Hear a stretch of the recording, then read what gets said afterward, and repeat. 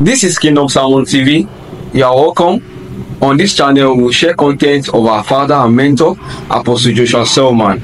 As you listen, remain ever blessed. Thank you.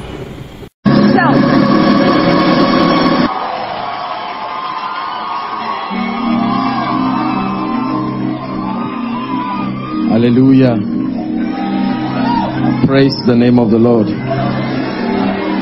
Good evening, everybody. It's my joy again to be here. Amen. Hallelujah. Please, first and foremost, I'd like you to help me bless the Lord for Pastor Jerry and his wife. Thank you. Thank you. Thank you. Thank you. And then please, let's honor Dr. David Obueli. Thank you. Thank you. Hallelujah. Praise the name of the Lord. I'm here only but for a short time. And I pray that this moment will bless our hearts. Tonight is truly a moment of unusual encounters. Father, help us. We depend on you. Let the weight of your glory cover us. Let your life of your river flow. Let the truth of your kingdom let it reign in us. Let the weight of your glory fall. Let the weight of your glory cover us. Let the life of your glory fall. Let the truth of your kingdom let it reign in us. Let the weight of your glory. Help us, Holy Spirit, open our eyes that we may see. To see you high and lifted up. You are shining in the light of your glory. Pour out your power and love as we sing, Holy, Holy, Holy. We'll see you high and lifted up, shining in the light of your glory. Pour out your power and love.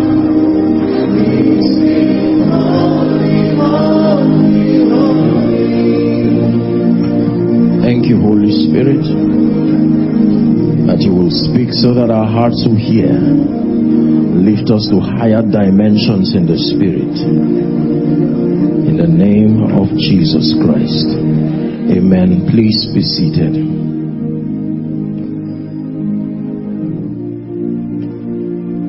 I'll just give a charge and then we'll pray and I'll be back to my seat and we trust that the session we'll have with the man of God will be most inspiring. He's a veteran of the gospel. He truly understands the kingdom. And I pray that your heart will be open as we learn. But I just want to touch on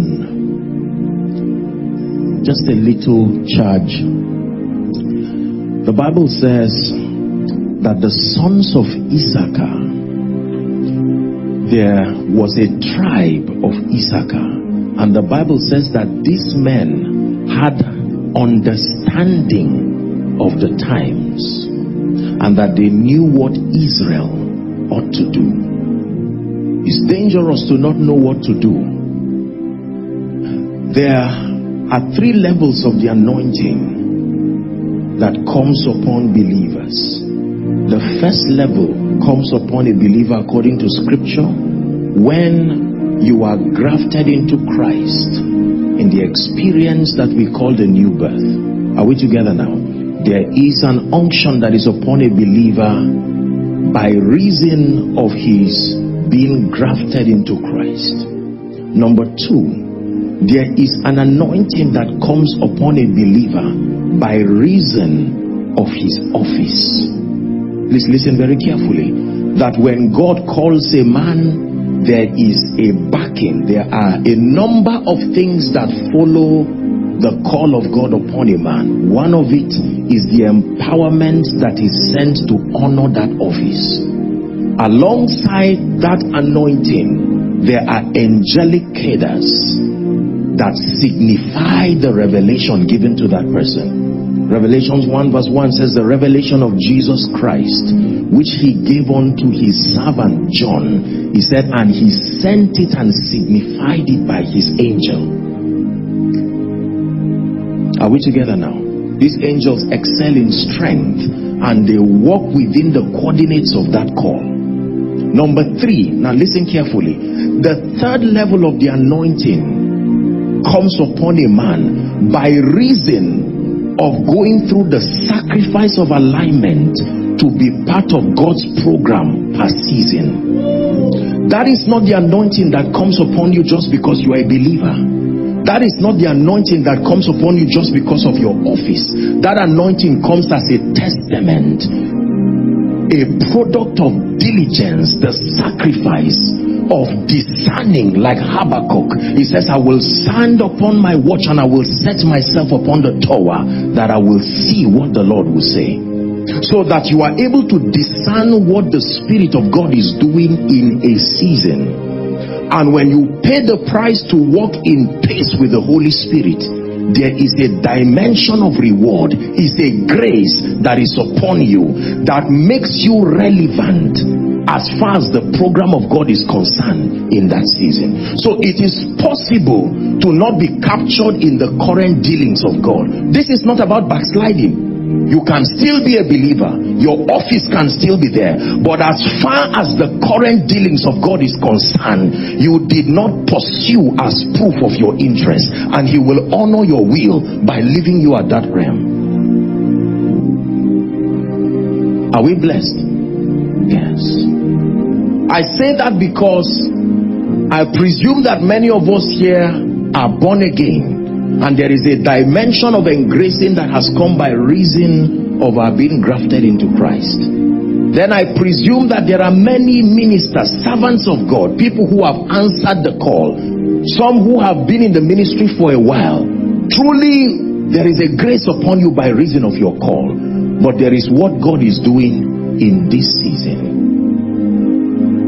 He says, Worthy is the Lamb that was slain and when he was worshipped, they called him the God who was, who is, and who is to come. These are dimensions. Knowing the God who was is good but is not enough. There is still the God who is. Are we together? There is this present truth what God is doing within this season. And I believe that this conference seeks to bring us to not just receive miracles, signs, and wonders, as important as that is, but to position us, to reveal to us by the Spirit the current dealings of the Spirit across the nation, so that we can understand, like the sons of Issachar, and know how to align with what God is doing. Are we together? This is very important. I'm very passionate about knowing what God is doing because his grace doesn't just honor men. His grace honors his program. God's grace moves in the direction of his program. It looks like he's looking for men but he's only looking for men who are following the program. The grace will not come to you just because you want it it will come with respect to your diligent pursuit of god's program. When i sent thee lackest thou anything? Not when you went when i sent thee.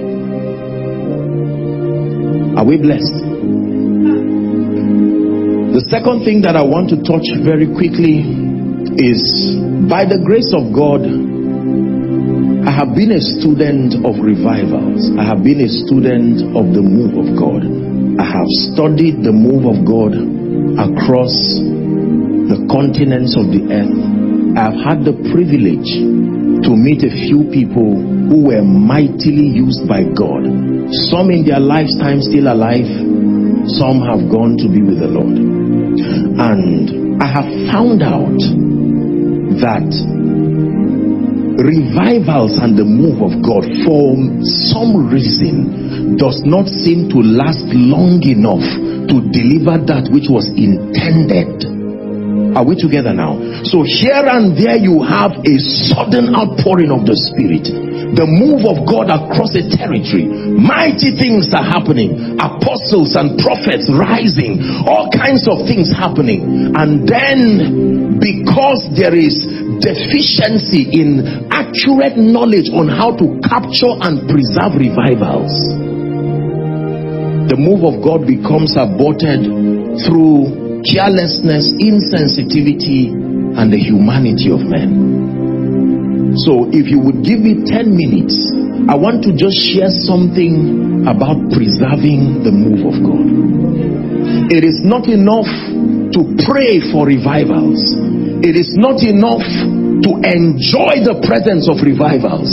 We must we must understand the spiritual technology allocated for preserving revivals.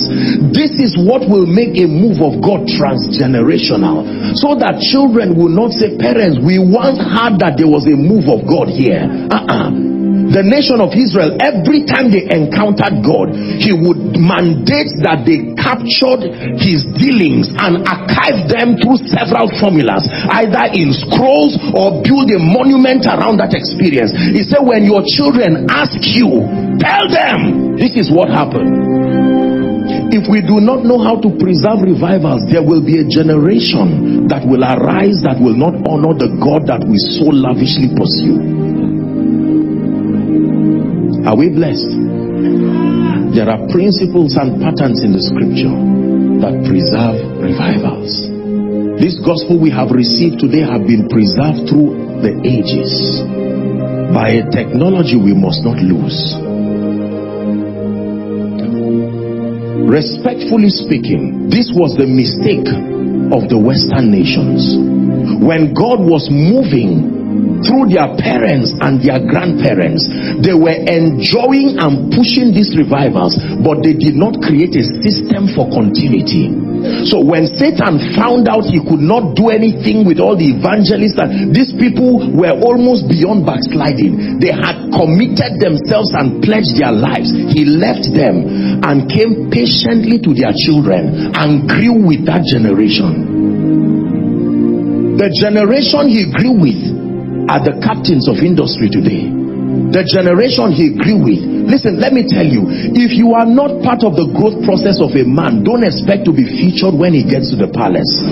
A generation will only be loyal to who was there when they were rising coming up arbitrarily with an information and an idea an attempt and wanting a generation to give you attention when you were not there. So satan knows this and he came and was patient for over three decades growing patiently with those we used to call children growing patiently. And he he brought them and showed them a route to success without God and in the equation of their lives they are yet to see the need for God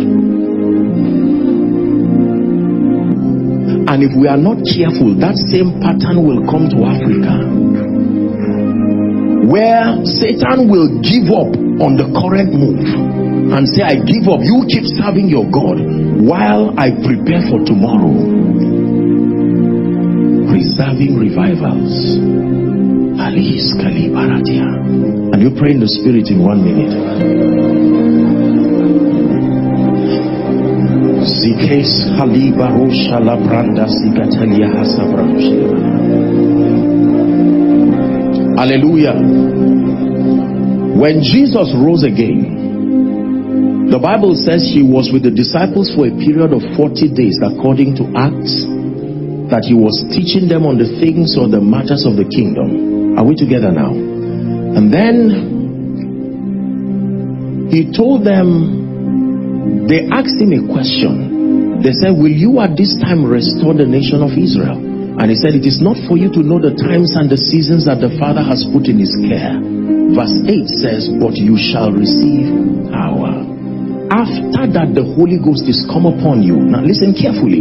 It says, When that activity happens to you, it will turn you to become witnesses, not men of God, not business people. No, the titles are simply the geography of the assignment. But our mandate corporately is to be witnesses. A witness is a validator of a claim. You do not need a witness until there is a contention. When you go to the court of law, are we together now? If you say this happened and someone is objecting, the judge will say introduce a witness. The assignment of a witness is to concretize conviction, to make sure that everybody, all and sundry, believe that that proposition was not a lie. So the Bible says your assignment is to be witnesses. And then he now told you that as witnesses, you are mandated to be witnesses in Jerusalem, Judea, Samaria, and then to the utmost part. And to do that, you shall receive power. The first thing that happens to you is that the Holy Spirit comes. Power is not the first thing that happens. The personality of the Holy Spirit is introduced to your life. There is something He does before power comes. You have to understand that scripture. Are we together? Yes. Jesus was speaking about the Holy Spirit. And he said, I have many things to tell you, but ye cannot bear them now. He says, How be it when he, the Spirit of truth, is come? He said, He will guide you even for truth you must be guided because truth can still mislead it's not a lie alone that deceives the truth when not guided can lead you into error so just because it is true does not mean it is profitable. You must be guided. Everything that destroys the body of christ today came from truth not a lie. Error is truth that is stretched within its beyond its boundary of relevance so the Holy Spirit has an assignment to not just give you truth, but to guide you, to set the coordinates for their profitability in your life. That means there is something you should know before knowing about prosperity. If you don't know it and you just jump to it, the lack of that prior knowledge will make that truth to not profit you. This is not even where I'm going to. I have a few minutes. Listen carefully. That the Holy Spirit was sent to the church as the guarantee that revivals can be preserved not just introduced. We know the Holy Spirit as an introducer of the move of God, but very few people know Him as the preserver.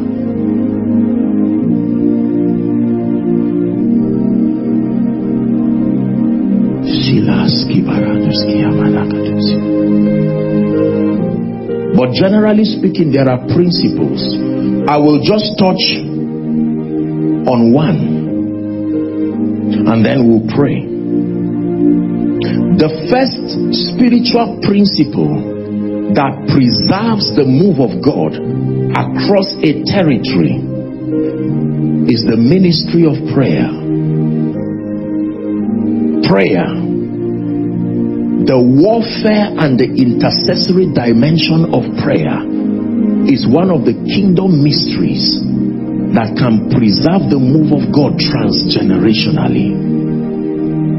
Prayer does not only bring the move of God. In the early church, they had prayer cells, they had prayer groups. They didn't just converge to break bread alone, they converged to pray. Did you know that the one thing Satan fought in Babylon was prayer.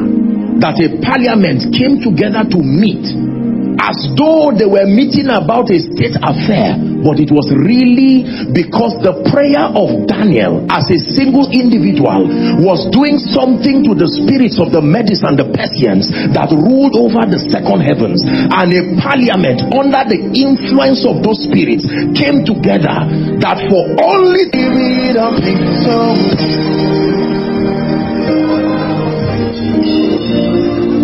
Hallelujah. When this system, this antichrist system that was encapsulated in a woman called Jezebel appeared to fight the purposes of God, then God now sent his prophetic system. I taught you yesterday, the spiritual system that restores the patterns of God. That system is called Elijah. Not just the man Elijah. Elijah was an embodiment of that system he used the weapon of prayer to preserve the purposes of God. It was at a time when the prophets of God were in hiding. Why? Because there was a system in a woman called Jezebel. I told you Jezebel is a system that only is activated when she sits with government. It's a system that fights influence.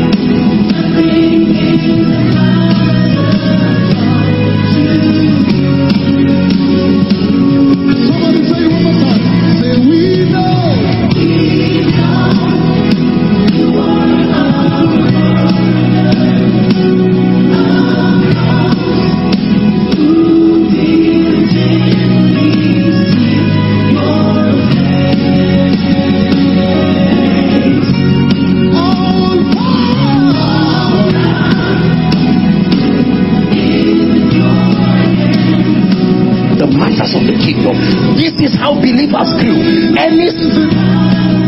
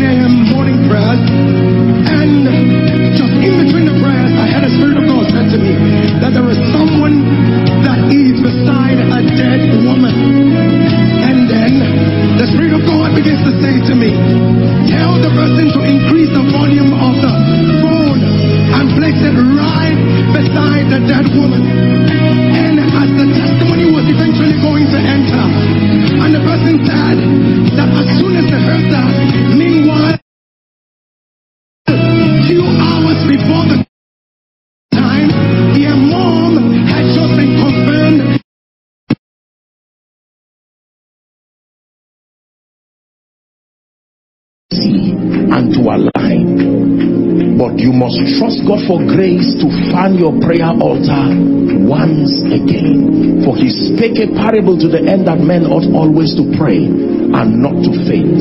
And you must trust God for the grace not to neglect the corporate gathering of the saints, not for the purpose of a religious ritual, for the purpose of enlightenment, submitting yourself to the doctrine of the apostles grow according to Colossians chapter 1 verse 9 to be filled with the knowledge of his will to be filled with all wisdom and with all spiritual understanding. This is the purpose of that convergence. And then number three to trust God not just to receive miracles but to become a conduit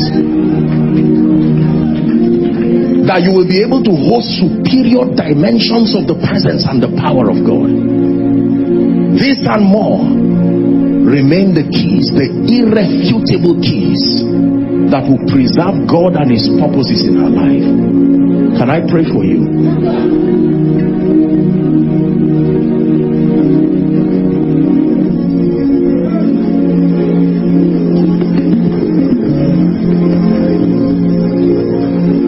Spare me five minutes, Pastor, just to say a word of prayer.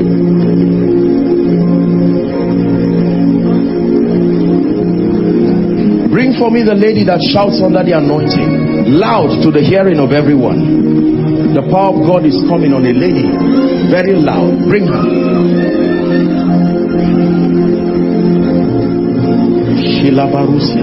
Father, I stretch my hands over your people. In the name of Jesus the Christ, the Son of the living God, I pray for you. I stretch my hands from the left to the right all across this auditorium. And in the name of Jesus, you are the people I prayed for yesterday. My dear, your wife, lift your hands. I know I prayed for you yesterday, but there is a prophetic dimension God is bringing you into. In the name of Jesus, I declare over you, take that fire now. You will never be the same. I release that grace upon you. In the name of Jesus Christ, I pray for you the spirit of prophecy, the bowels of the spirit, that as many who are called into that dimension, right now in the name of Jesus, take that grace. I shift you by the spirit. Step into those dimensions in the spirit. In the name of Jesus, the Son of the living God, I place grace upon your life, the eyes that see and the ears that hear. In the name of Jesus Christ. And I declare the spirit of revelation, accurate understanding of the mysteries of the kingdom. In the name of Jesus, may your eyes be open to see. May your eyes be open to see. May your eyes be open to see.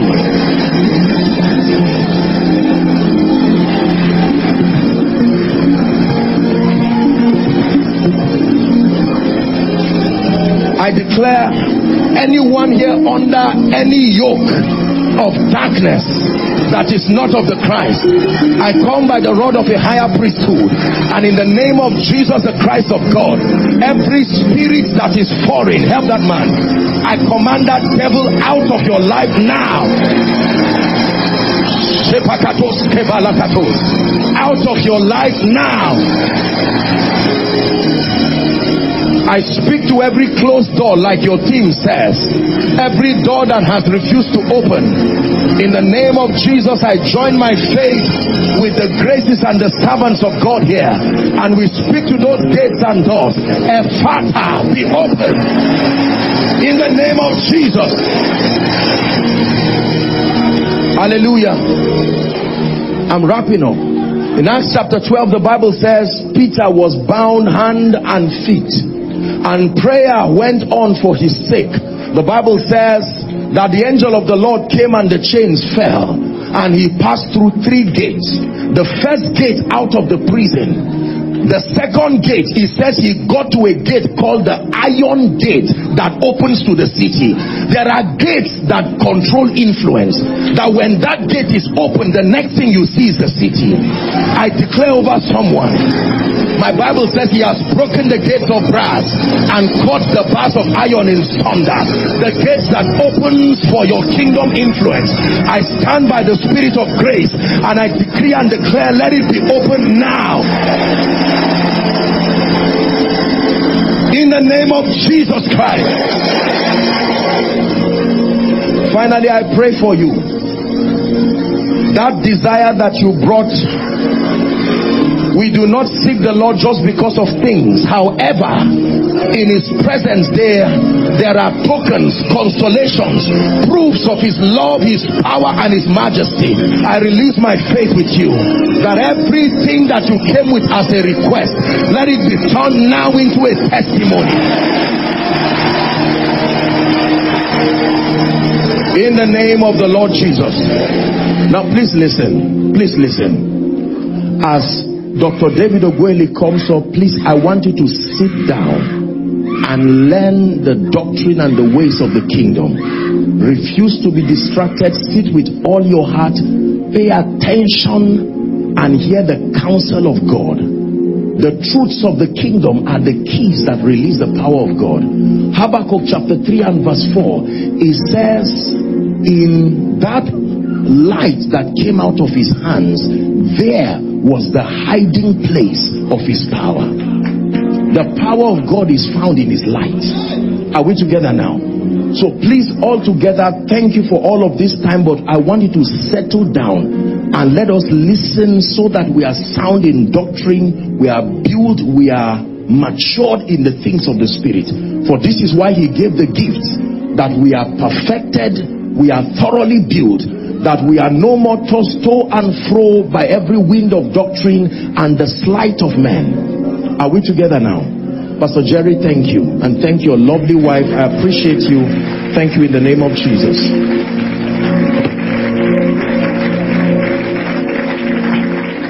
Please, can we be seated in the presence of God?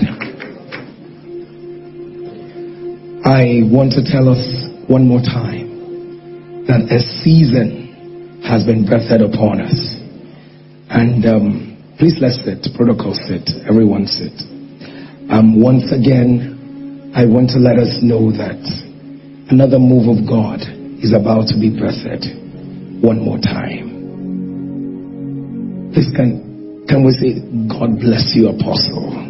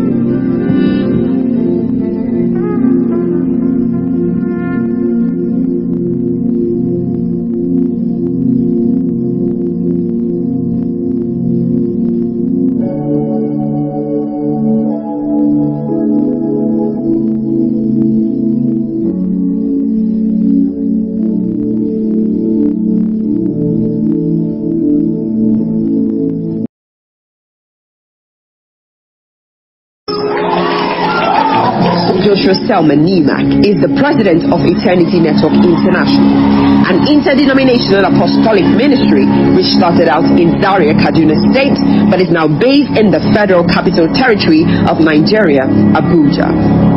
Motivated by his deep love for the body of Christ, Apostle Selman regularly teaches believers across various denominations with unusual insights into God's Word, and his ministrations are marked with awesome manifestations of God's power. He is the host of Koinonia, a weekly program that attracts thousands of people desiring to experience worship, word, miracles, love, and true intimacy with the Holy Spirit, deepening their fellowship with God and preparing them to fulfill their divine destiny. A mentor and father to many, Selman is fondly loved and regarded by thousands of young adults across the nation and beyond as a model and icon of the next generation. By default, there is no advantage anywhere for any man. You introduce systems of advantage into your destiny as you go. The first of them being salvation. It's like making do with whatever grows in a farm, and what grows in a farm without being planted is weed. So I come from a family, for instance, with no advantage, and now it is my responsibility under God to understand God and His ways and then introduce to my destiny systems of advantage that begin to correct errors that I met. Ladies and gentlemen, please rise and make welcome Apostle Joshua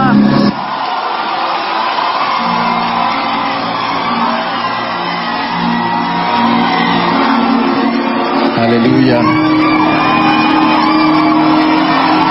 Hallelujah. Amen. Praise the name of the Lord. It's my joy to be here, and I truly am honored to be in your city. Hallelujah. Please, while standing, help me appreciate Pastor Jerry and his wonderful wife. Thank you. Thank you. Hallelujah. And an amazing, amazing man of God and the wonderful things that he's doing. You know, while he was talking about me, I wish I had the chance to tell him, I hope you know that you are describing yourself too. Praise the name of the Lord. Truly, I celebrate what God is doing in this city through this great vessel of God. The lives that have been changed, destinies transformed. I think we can honor him one more time. God bless you.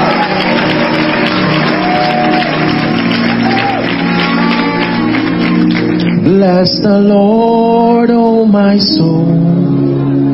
Oh my soul. Worship his holy name. Sing like never before. Oh my soul.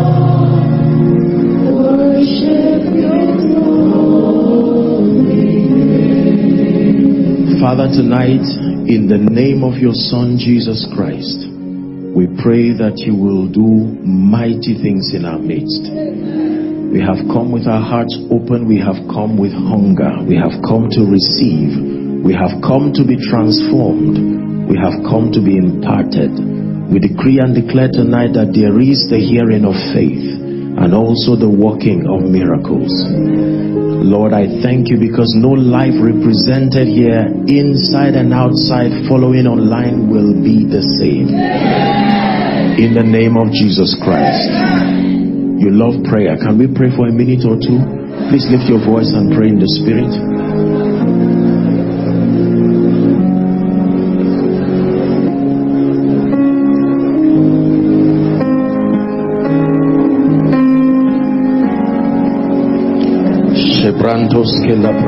Kadabala Katus.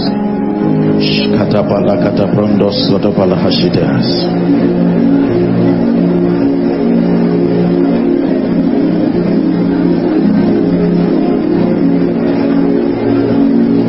Skiparatus sedebrende Ketibala Haskadabala Katus.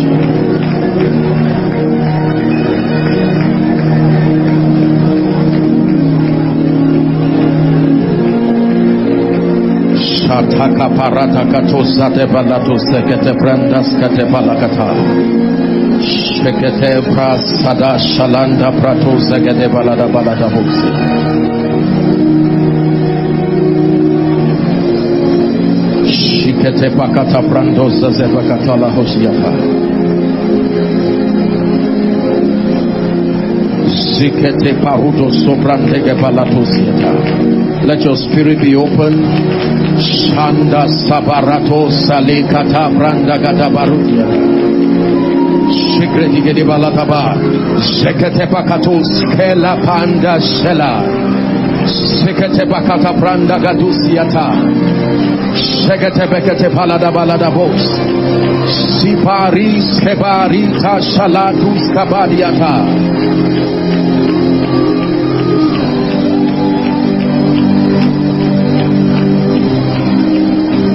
I release the sound of the heavens, sound of creation. Yahweh is here. I release the sound of the heavens, sound of creation. Yahweh is here. I cry, holy, holy, holy, unto Yeshua, Shekinah is here. Shali barakatosa brandega de baradusiata. Shile baruska de barutasia. Don't be tired, it's part of the meeting. Skimende shalentos kabaruta shabraga de gopos. Shegeba katosa libranda katosa ketele kata. Shalabarata kata branda kata baruska bereketosiata. Shile barudasiata. Sibarakato salibranda gatabariata. Streams of joy. Abia State. Pray your way to a new dimension in the spirit. Hiya, hiya, ha. Hey, hey, hey. Hiya, hiya, ha. Hey. Let me prophesy upon your life. You will never be the same. Is grace. Your life You will never be the same. You've touched His grace. You will never be the same.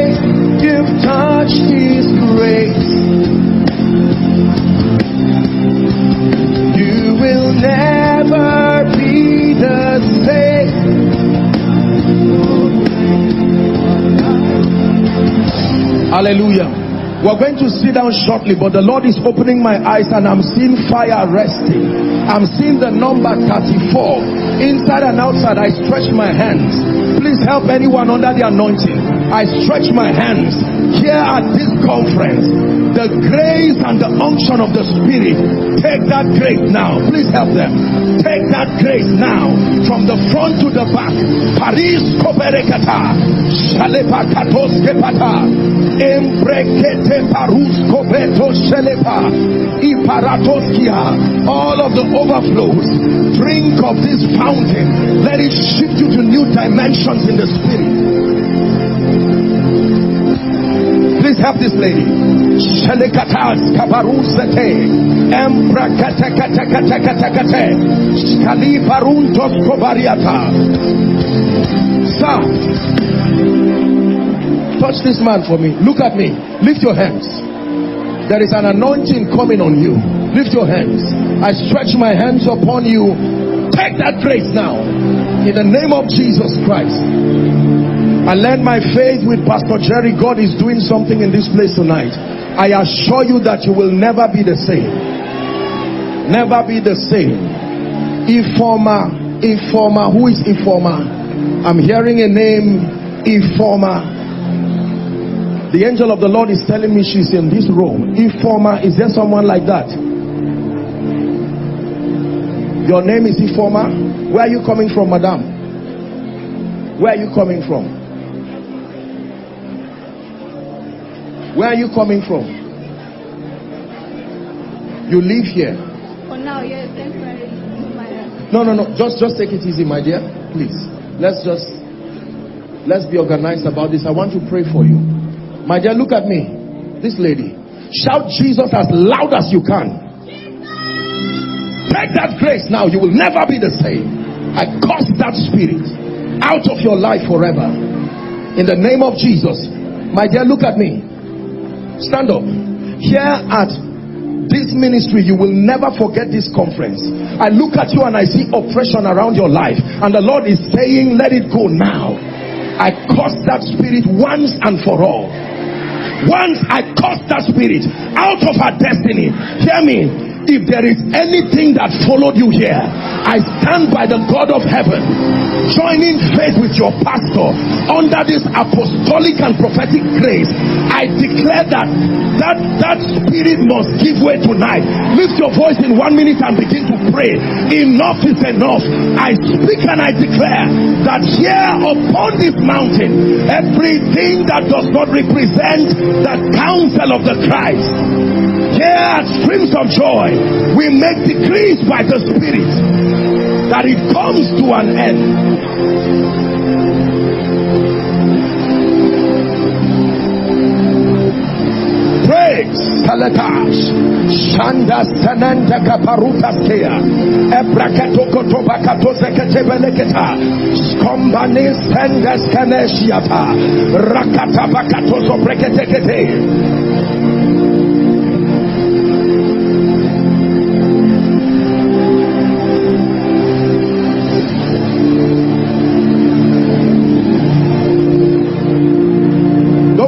tired, you will soon be seated. Am, am I fine?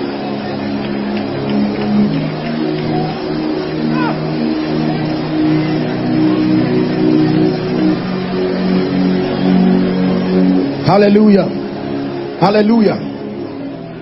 Bring the lady that will shout now under the anointing, loud to the hearing of everyone. Please, I want to talk to her. The power of God is coming on the lady now. Bring her. Sile shalan sadas. Shalagada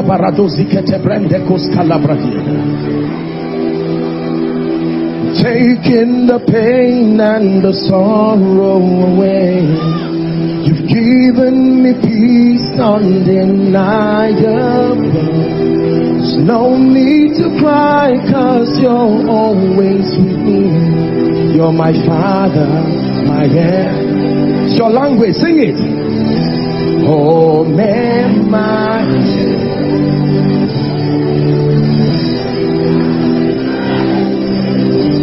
Shalabaruska di brandige di baratus. Shekete baruda siata balakata.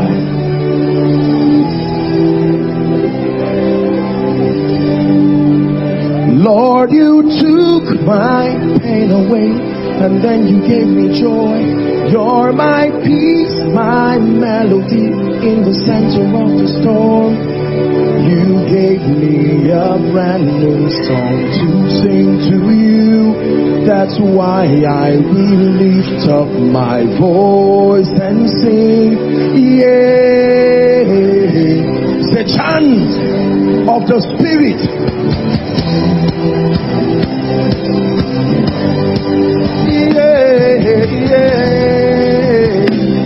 Hallelujah.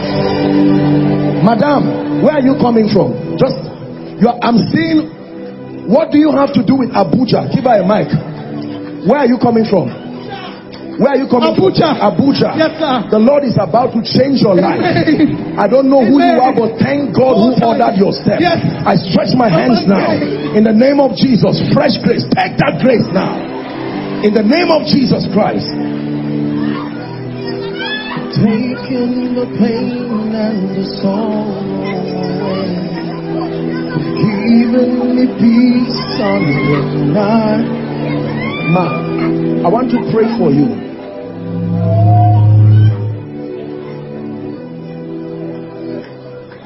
That no infirmity will stand your body in the name of Jesus Christ. Is it all right if I talk to you, ma? I want to pray that the devil, please don't come out at random. Please. Please. There's no space here. I'll soon send a few people back so that we can teach. Ah, I'm looking at this woman and I'm seeing a serpent out of her destiny now. Out now. In the name of Jesus.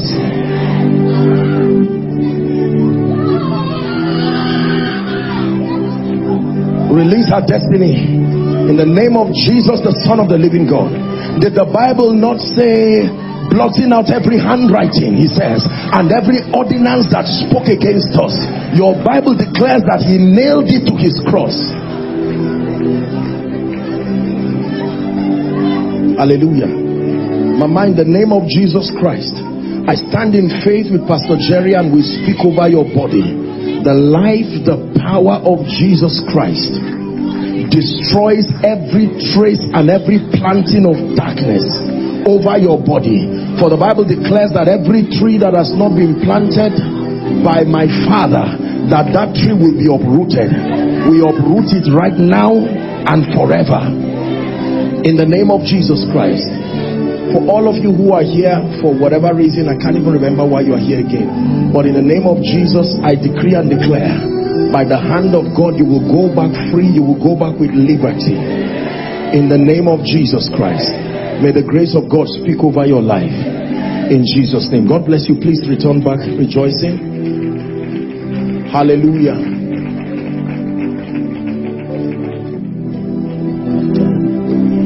You'll be seated shortly. Am I wasting your time? There is a pastor here. You came with such a hunger. I'm seeing an anointing of the Spirit resting upon you now. You are, I'm not saying you are going into ministry. You are in ministry. I don't know if it's this city. The Spirit of God, the hand of God will come upon that man. I just want to talk to him right now. You are a pastor in ministry. And when that anointing comes upon you, it will shift your ministry to a new level in the spirit. Sir, are you husband and wife? Lift your hands, both of you. Hold your hands and lift it. Lift it. Look at me. I don't know two of you are, are, are they, they are pastors in this city from Port Harcourt, you believe in the power of the anointing? I stretch my hands right now in the name of Jesus. Take that grace. Two of you step into a new dimension of ministry. Signs, wonders, miracles by the Spirit of God.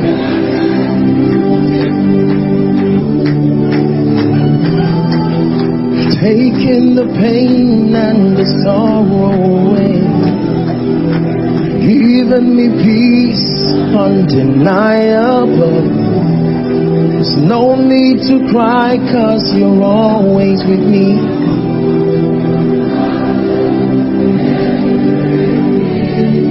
Bless our hearts tonight, oh God. Please sit down if you can. My dear, you are a member of this church? I'm looking at you and I'm seeing you climb a ladder in the spirit. This is what I'm seeing. I don't know what you do. But two things are going to happen to you. Number one, there is a multiplication of the grace for the prophetic. This is what I'm seeing by the Spirit. And number two, the unction for favor is coming upon you. I stretch my hands by the Spirit of grace. Step into that season, step into that level. I take away limitations from your destiny by the Spirit of grace. Can I tell you this? Happy are you when you find the grace sent to you. Not the grace available, the grace sent to you. There are words that are spoken, but there are words that are sent. It's such an honor to be part of this great assembly. Many of you may not know the kinds of transactions that are happening in the realm of the spirit. It is what is upon you that controls what is around you. What is around you is merely a report card. It's speaking to you and telling you what is upon you. So whilst we explore the word just for a few minutes, our time is already gone. I respect the time just to touch on something tonight and then we'll pray. But I like for your heart to be sensitive because whilst the word of God is coming forth, the Spirit of God is hovering like He always does within this auditorium and then even outside of this auditorium to all the overflows and our family watching online globally. Just open up your heart to receive. There are impartations. You see before you receive from a grace study it study the operation and the dynamics of the spirit connected to that grace so that you can maximize it. If you come to a church like this you study the operation of god's workings in your pastor. That will help you to know how to receive. Praise the name of the Lord.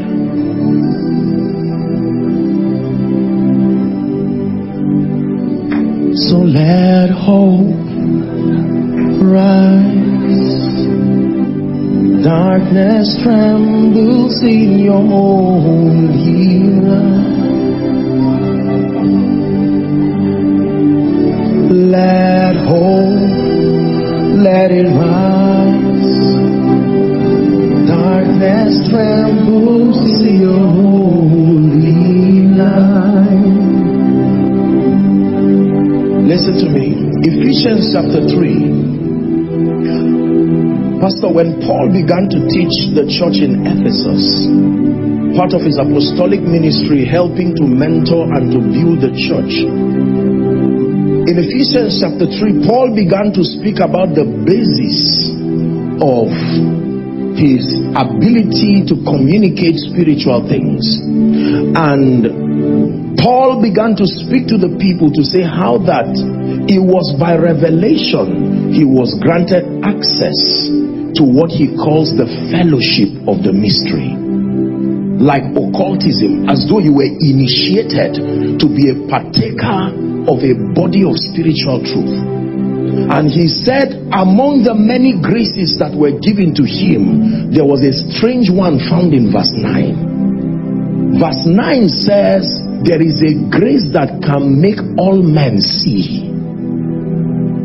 It's a grace that supplies spiritual illumination and compels you to comprehend spiritual things, regardless your intellectual limitations. It's an unction because you see when we're dealing with spiritual things we are not just dealing with matters of intellect. Uh -uh. it is a realm that flesh and blood cannot comprehend. He told peter flesh and blood has not revealed this so that dimension of revelation is higher than the realm that flesh and blood reveals. Are we together now? Yes.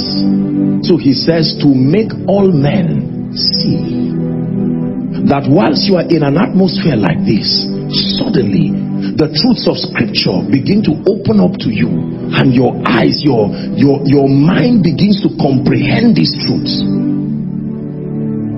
Because in this kingdom, it is as far as your eyes can see. It says, lift up your eyes from where thou art. As far as your eyes can see, then it is given unto you. So can we look to the word of God for a minute or two?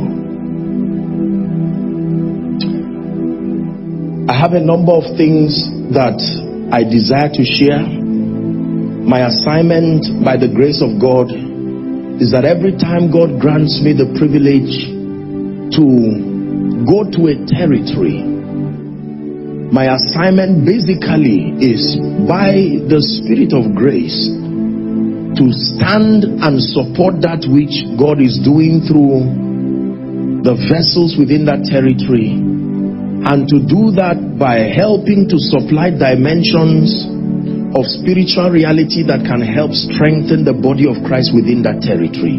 Because you see a true apostolic grace is not a ministerial grace.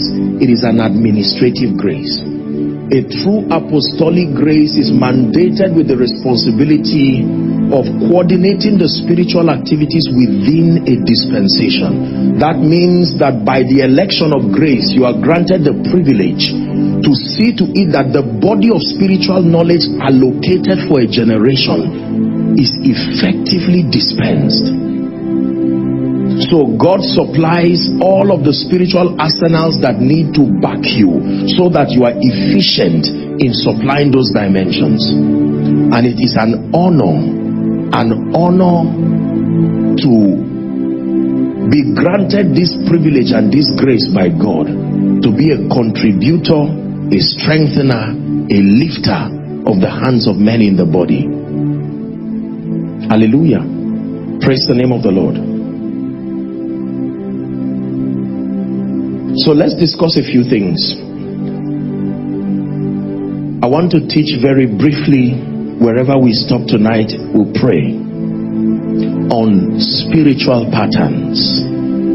Please pay attention to this teaching. I believe by the grace of God that in addition to that which your pastor has labored and continues to labor communicating to you so that you are strengthened that this truth alongside all the servants of God who have come and will be coming that together as a coordinated army that God will supply something in this conference that will shift you in reality to the next dimension. One thing I must commend about this church, sir, is that you are a passionate people who are full of faith. The faith of God is palpable within this assembly. It is true that you believe what you say.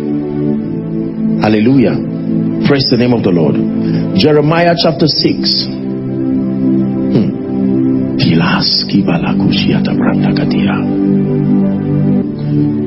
Verse 16. When we have it projected and you can see it, please read. Ready? Read. Thus saith the Lord, stand ye in the ways and see and ask for the old path. Where is the good way? And walk therein and you shall find listen listen listen don't rush. The bible shows us here that for the believer there is a relationship between asking walking and rest. That the pathway to rest starts when you ask then when you are shown you obtain grace to walk in that path and then you will find rest. Are we together now? Now all across the globe there are men and women who continue to press towards spiritual things in hope that they will be able to find the principles of the kingdom that are responsible for the various outcomes that we desire all over the world, Pastor. From the US to Asia to Europe to Africa, men and women continue to search for the keys that control the various dimensions of possibilities in the kingdom. For others, they seek to know the dynamics that is responsible for the miraculous. For others, they want to search for the principles that control the blessing of the Lord upon the life of a believer in reality. For others, they seek to find out the keys that are responsible for influence and access, like you so greatly prophesied, where kings agree that you are king over them. The Bible says several men came to David in the cave of Adullam and that they said that they submitted himself to be king over them. Are we together? Now, as you might have heard me say, kingdom that we are part of is a compendium of infinite possibilities. You have to agree on this. Are we together now? That the possibilities that are in this kingdom are as vast as God Himself. And that means that in the entire span of a believer's journey, whatever you are able to capture throughout your lifetime becomes your the frame of your understanding of who God is and how far he's able to take you. Are we together now? And that the theology that your life will write will be based on your perspective about God. And so all through history, we've had people come up with different ideas about who God is and the pathway that makes for victory in the kingdom.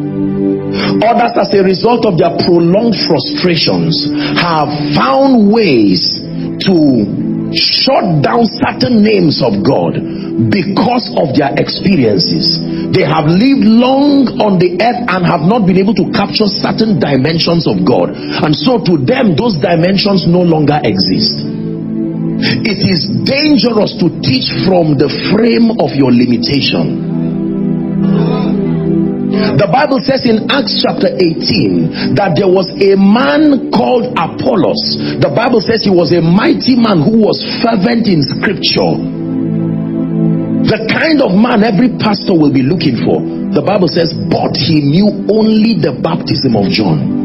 One day he came for a conference like this and believed he was impressing everybody. And yet there were two strange people who sat in that congregation called Aquila and Priscilla. While they listened to him vent out his limitation, they appreciated his passion. But the Bible says after that service, they held him and expounded to him the way of the kingdom more perfectly.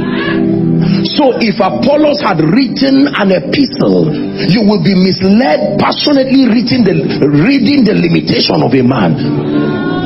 You see, let me tell you this one of the challenges with the body of Christ, and I say this respectfully, is that many times limitations and create doctrines out of them, and we mentor people from the vista of our limitation.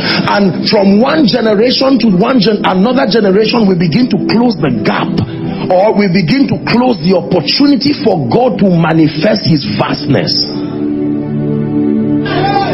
So if I never experience favor in my life, everyone who is mentored by me will be mentored to disregard that reality. If I do not experience speed in my life, I, I convert my pain to a theology. And now I teach it so that whoever should have, should release his faith for more of God, now is compelled as a proof of his loyalty to my ideology.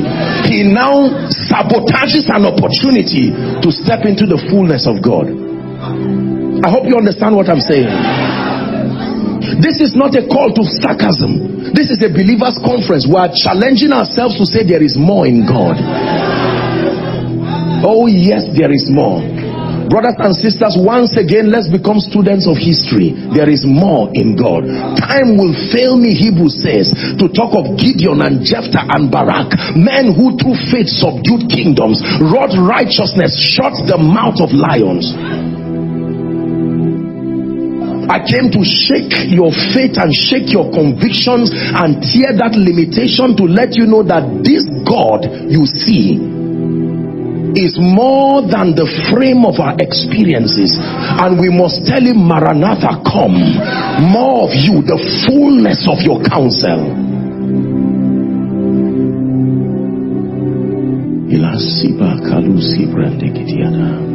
Mm. when I pray for 100 people and only two people are healed I turn my embarrassment into a theology. Rather than using it as a drive to press for deeper dimensions knowing that God is true and only men are liars. I would turn my embarrassment and say the person who did not get healed I find a very intelligent theological reason. And everybody who watches me they will frame their lives after my limitation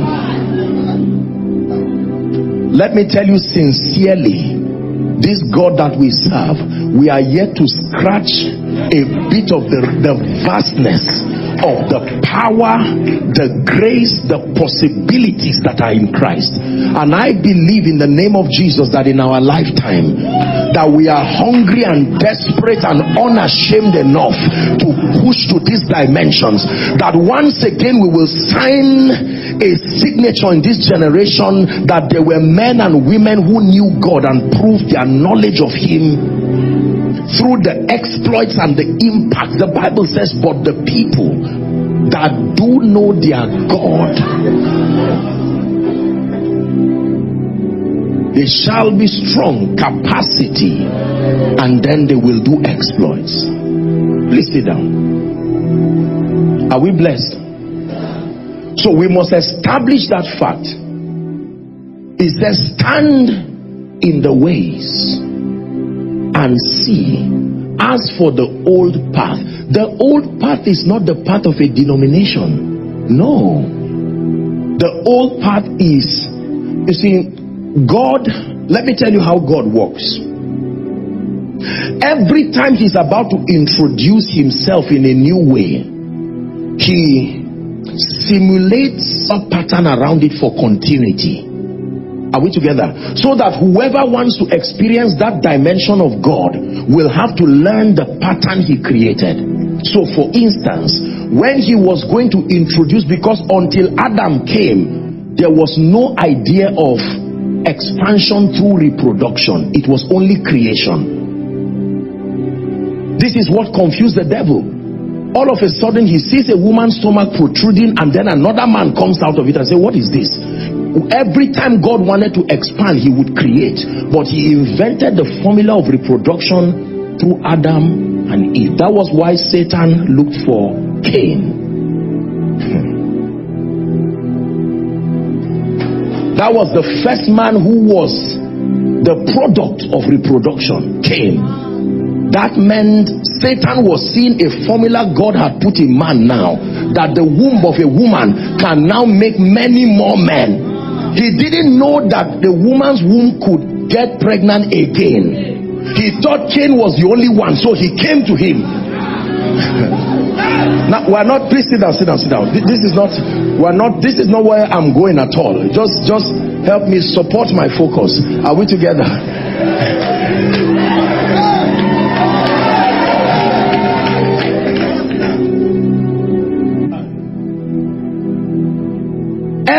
time you want a baby you subscribe to the pattern that was created. Is that true? Salvation when jesus came he didn't just save man. Do you know as powerful as god was and is he did not cast sin out of men. He didn't stand to say i god yahweh i use my might as the creator of the heavens and the earth and i cast sin out of men because he had created a pattern the pattern says without the shedding of blood it is illegal to remit sins it's a pattern Number two, there is a pattern that says the wages of sin is death. Now, when God came to the earth, He Himself had to submit to those patterns. Now, listen carefully. Eh. Spiritual patterns hold the key to the exploits of the saints in this kingdom. It takes more than a good desire. It takes more than a kind, well-meaning heart. Brothers and sisters, hear me. There are many well-meaning people, well-meaning preachers. The exploits that your pastor is having today is not just because he's a good man as wonderful as he is and his dear wife i can tell you that he has found like a spiritual archaeologist spiritual patterns these are the patterns that secure the glory of god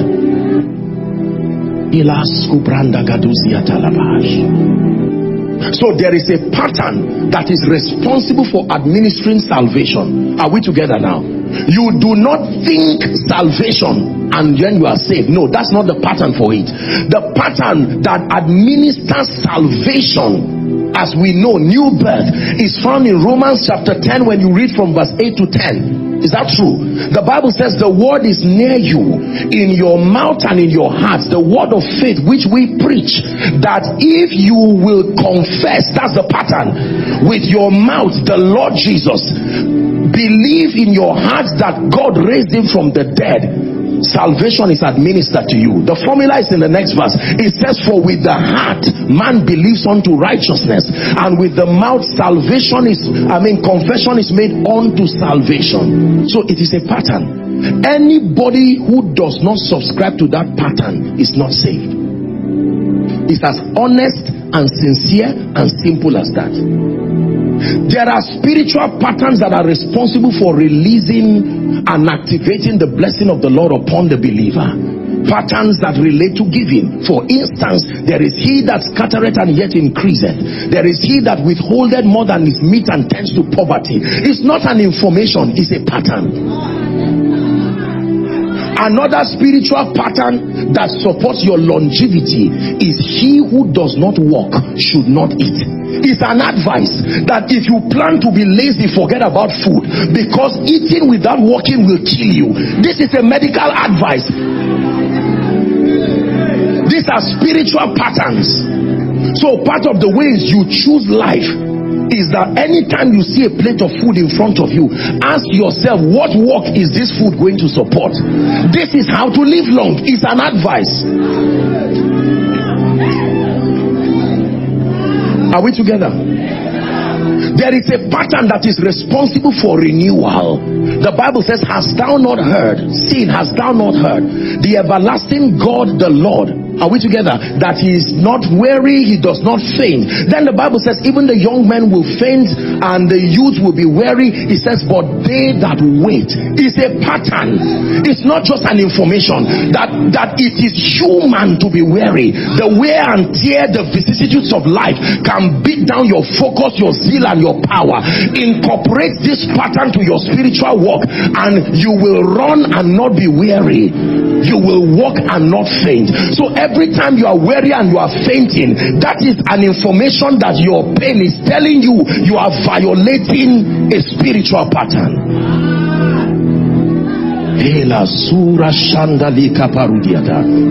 hmm. The Bible says the thief cometh not but for to steal, to kill, and to destroy. Are we together now? So he gave you a pattern that encapsulates Satan's work. So for you to verify whether it is the devil, search for these things. Is there stealing in it? Is there killing in it? Is there destruction in it? The moment you see it, you know that that is a pattern. There is also a pattern that shows you when the kingdom of God shows up in a place. It says the kingdom of God encapsulates these tripartite factors righteousness, peace, joy in the Holy Ghost. Is a prophetic compendium of patterns, roadmaps that lead to mysterious outcomes. These are the principles that turn ordinary people to signs and wonders.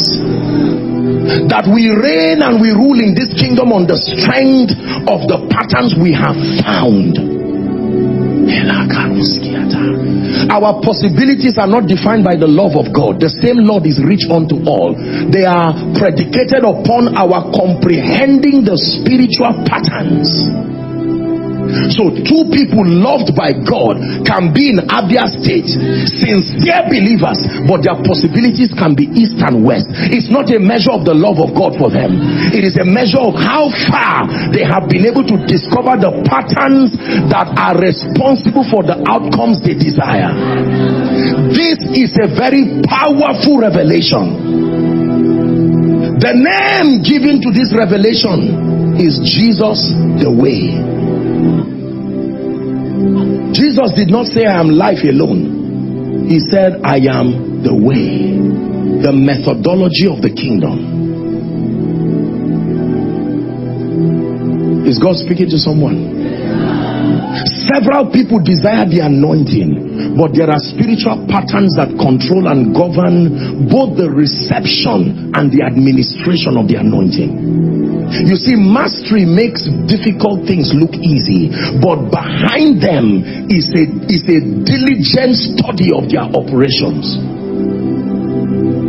Please hear me, sense of God the quality of my life and your life in this kingdom will depend on how much we are willing to obtain grace from God and become students in the school of the spirit to search for the patterns not just to desire the outcome that those patterns produce to search for it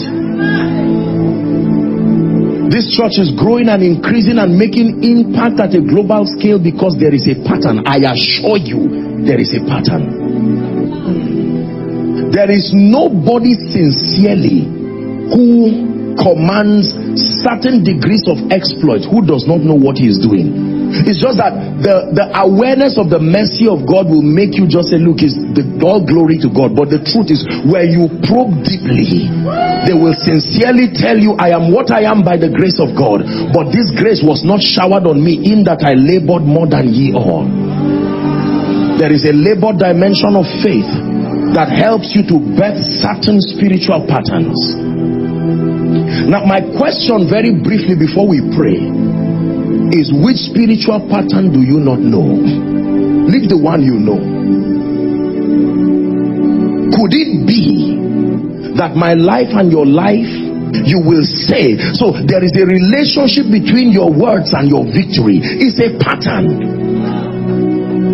it says let the redeemed of the lord he already called them the redeemed but he says say so because everything starts from the realm of the spirit but will require authorization from the saints to be manifest it is always the spirit and the bride that says come so when the spirit says come, he's waiting for the bride on earth to also say come. When the spirit says lifted, the bride must also say lifted. It is the spirit and the bride that tells the word to come.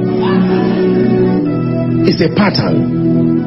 Forever, oh Lord, your word is settled, not in your life, in heaven. It tells you the location where the word is settled. It will take faith and engaging these patterns for it to become a reality in your life. Open thou my eyes that I may behold wondrous things from out of thy law. There is a spiritual pattern responsible for speed. The Bible says, Then the hand of the Lord came upon Elijah, and he ran and overtook the chariots of Ahab, even down to Jezreel that means there is something you can engage in the spirit that will release a supply of that grace and your results become from a human standpoint it will look as if you held a charm. Can i tell you this? Now please listen very carefully.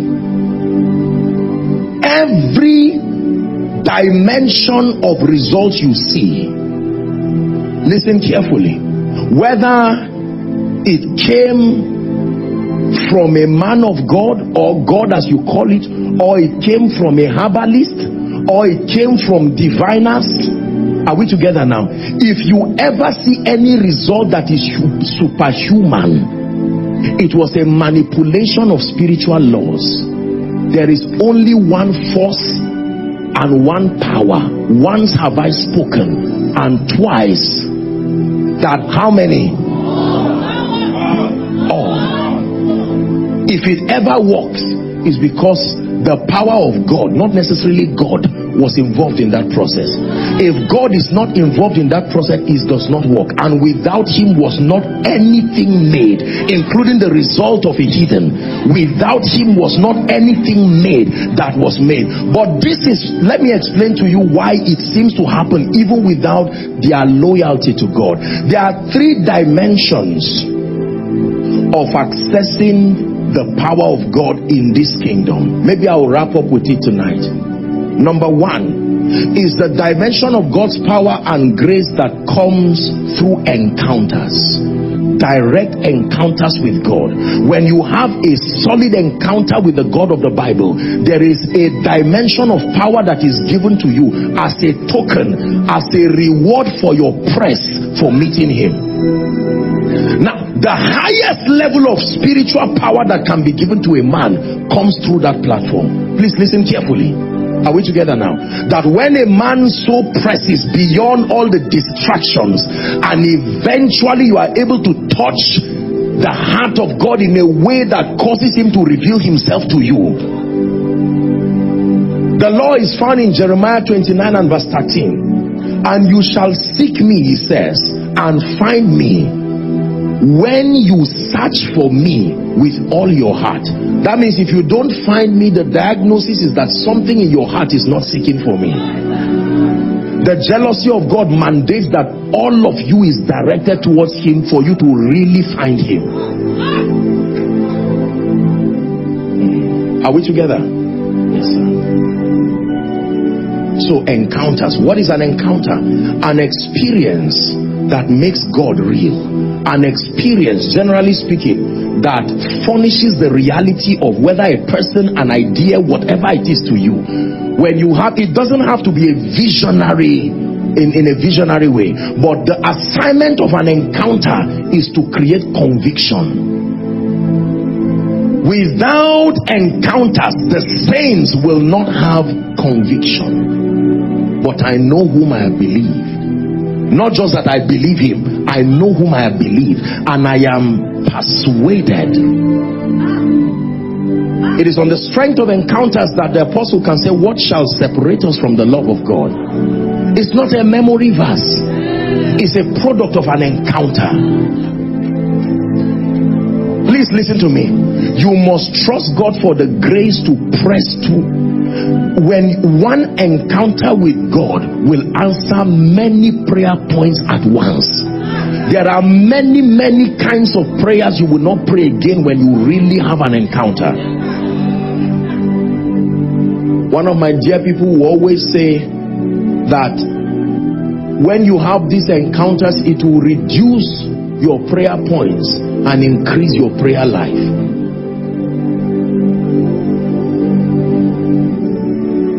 Everybody say encounters. You must desire encounters with all your heart. There are certain dimensions of anointings. For a generation, no, it will come through encounters. And can I tell you this? Sincerely, when it comes, it has come. It will be clear that the spirit of Elijah doth rest upon Elisha. If you are still doubting and hoping it's there or it's not, it's, then it means it's not there. Number two, very quickly, the second platform that affords us the opportunity to receive the unction and the possibilities to demonstrate the might of God in this kingdom is the mysteries or the principles of the kingdom, such as what I'm teaching you now there is a dimension of the power of God invested in these principles. You don't have to believe Him to access it. You just, it is controlled by knowledge and understanding, not intimacy. You don't, intimacy is not a condition to receive power at that level. It is knowledge and understanding.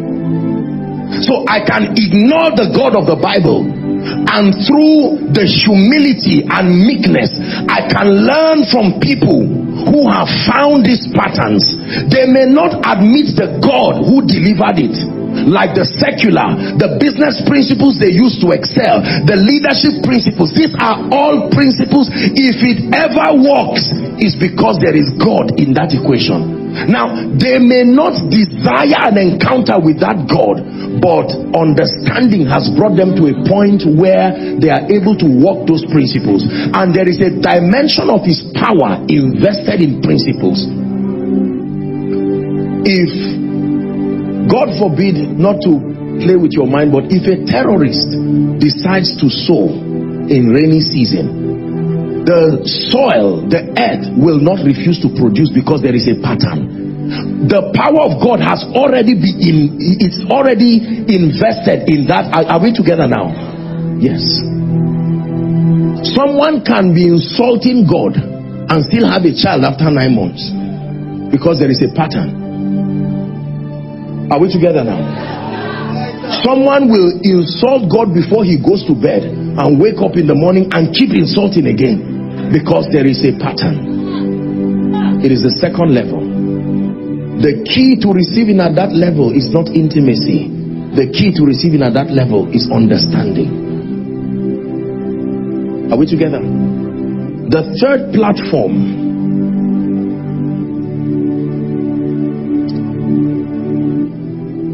is called covenant alignment. Let me explain it. The third platform for receiving power in this kingdom is called covenant alignment. Please say covenant alignment. And we will never settle for less. We know there's more that's found in you. We have to round up. Listen. Look at me.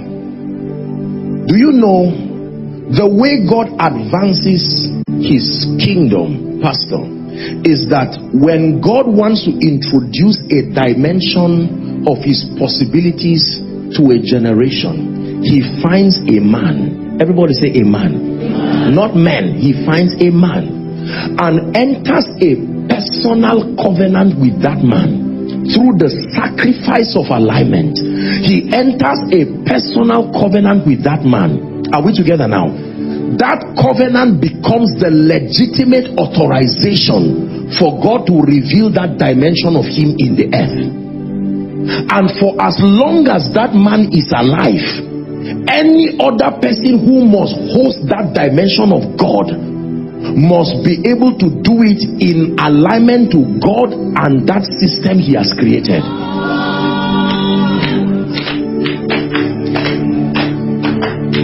I pray that your eyes will be open to what I'm sharing with you. Hmm. So, there are men who are carrying anointings there are men who are carrying mantles, but there are men who have spiritual systems. Don't be carried away by the body you are looking at. And it is not everybody, but this is true. Read your Bible and you will see that there are men it was not mantles they carried. Abraham did not carry mantles. Abraham was a spiritual system that was referred to in isaiah 51 that if you want to study what it means to be blessed in the kingdom look unto abraham your father and to sarah that bore you. I called him and blessed him and increased him. Abraham is my recommended portrait for the blessing you ever ignore that reality? If you like serve God as much as you want he will refer you back to that pattern. Pattern number two system number two Jacob. Jacob is God's biblical pattern for encounters. That every time you want to encounter God the individual that embodies that revelation is Jacob. Psalm 24 says the earth is the Lord's and its fullness thereof. The walls and they that dwell therein when you read on it says this is the generation that seek thy face o jacob or o god of jacob. Until jacob had an encounter there was no god of jacob. It was god of abraham and god of isaac. In genesis 28 jacob lay in the night to sleep in a place called luz that will later be changed to Bethel. Are we together now? And the Bible says when he lay down to sleep, suddenly he saw a ladder that connected the earth and heaven. Is it in your Bible? I hope you know they were not parables. These were things that actually happened. And he saw angels ascending and descending, and at the top of it was God. Are we together now? And he began to speak to him and the bible says he got up and said the lord was in this place and i knew not the bible is not ashamed to leave jacob's mistake for us to learn that Jacob made a clear mistake. He admitted with all humility that I missed this opportunity for an encounter.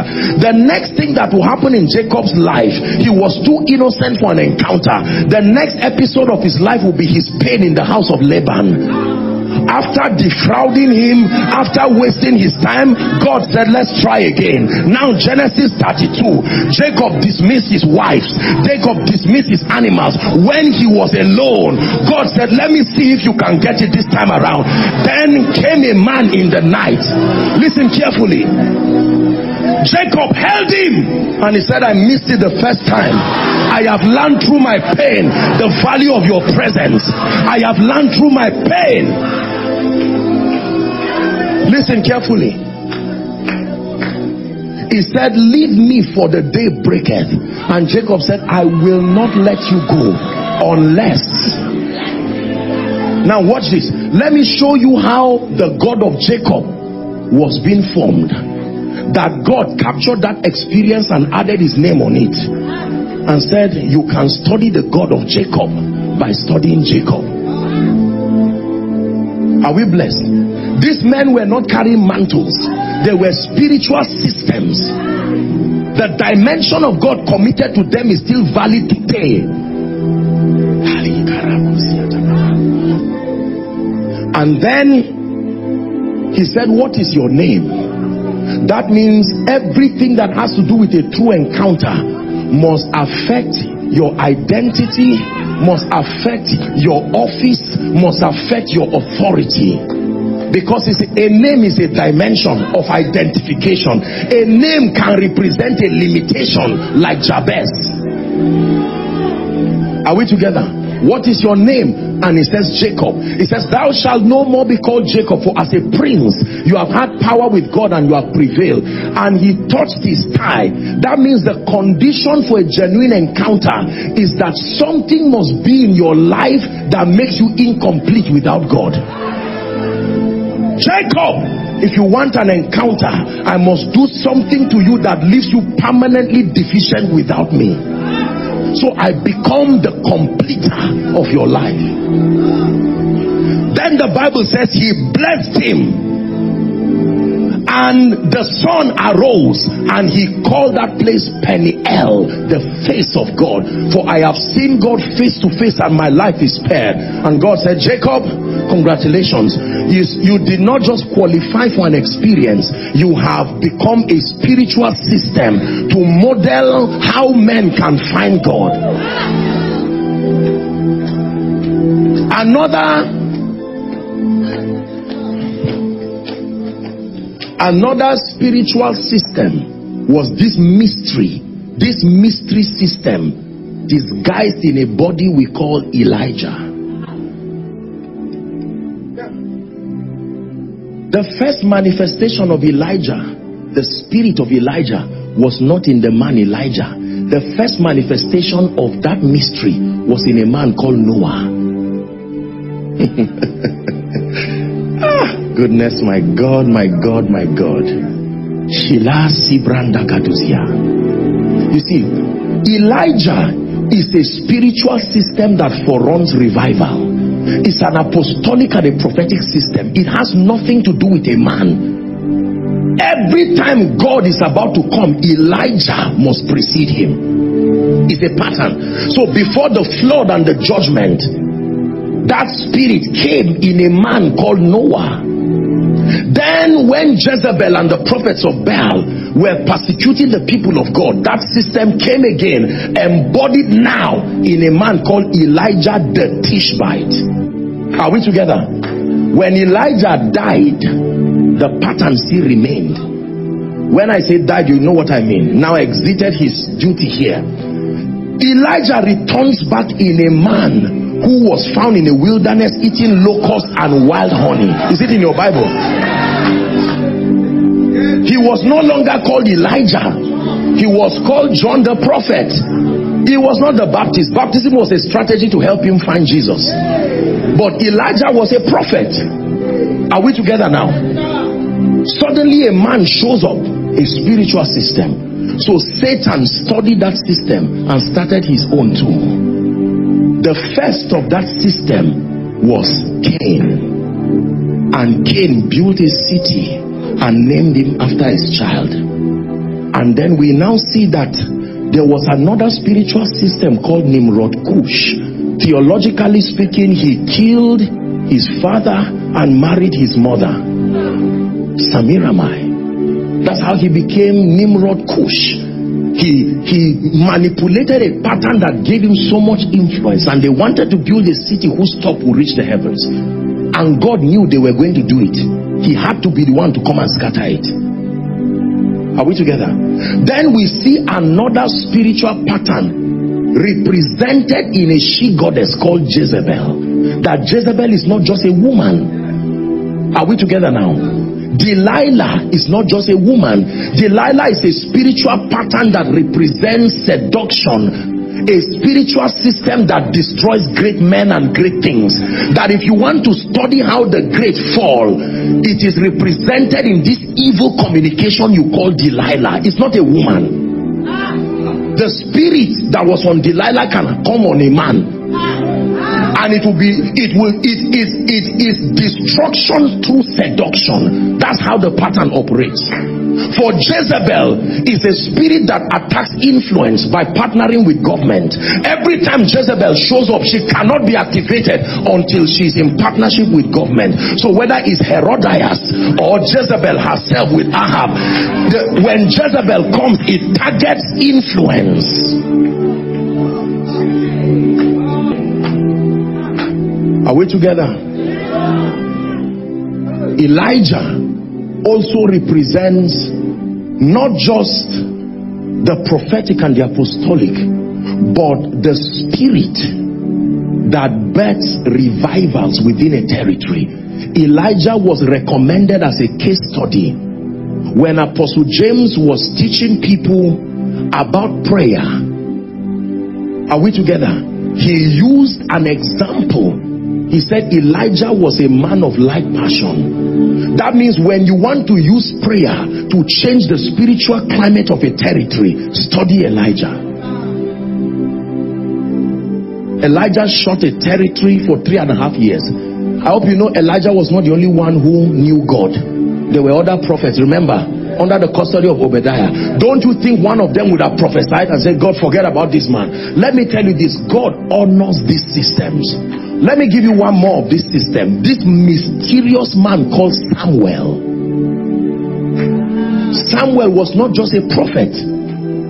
Samuel was a mysterious man whose word never fell to the ground. God had rejected Saul as king and was ready to lift David. Samuel refused and David's destiny was in trouble because one man you thought God would bypass him. God had to come and explain to him and say, Samuel, how long will you weep?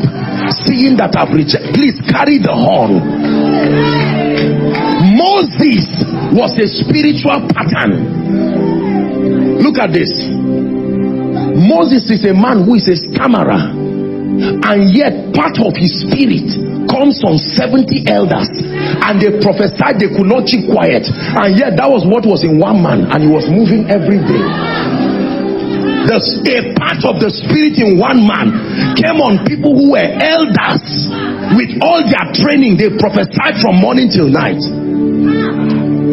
It was this mistake that costed Saul his throne. He thought men were just men and he said look the, the, pressure was coming on him to offer the sacrifice he said we can't wait for samuel. And when he finished samuel came and said no you have done foolishly. You would have allowed me to come and god would have established your throne forever.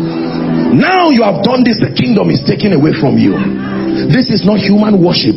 I am showing you that the results we command in this kingdom are mysteriously tied I'm teaching you covenant alignment. I think that's how we got here. Please spare me just a few minutes and we're done. That means on earth today, with all humility, the spiritual system that represents faith is Kenneth Copeland.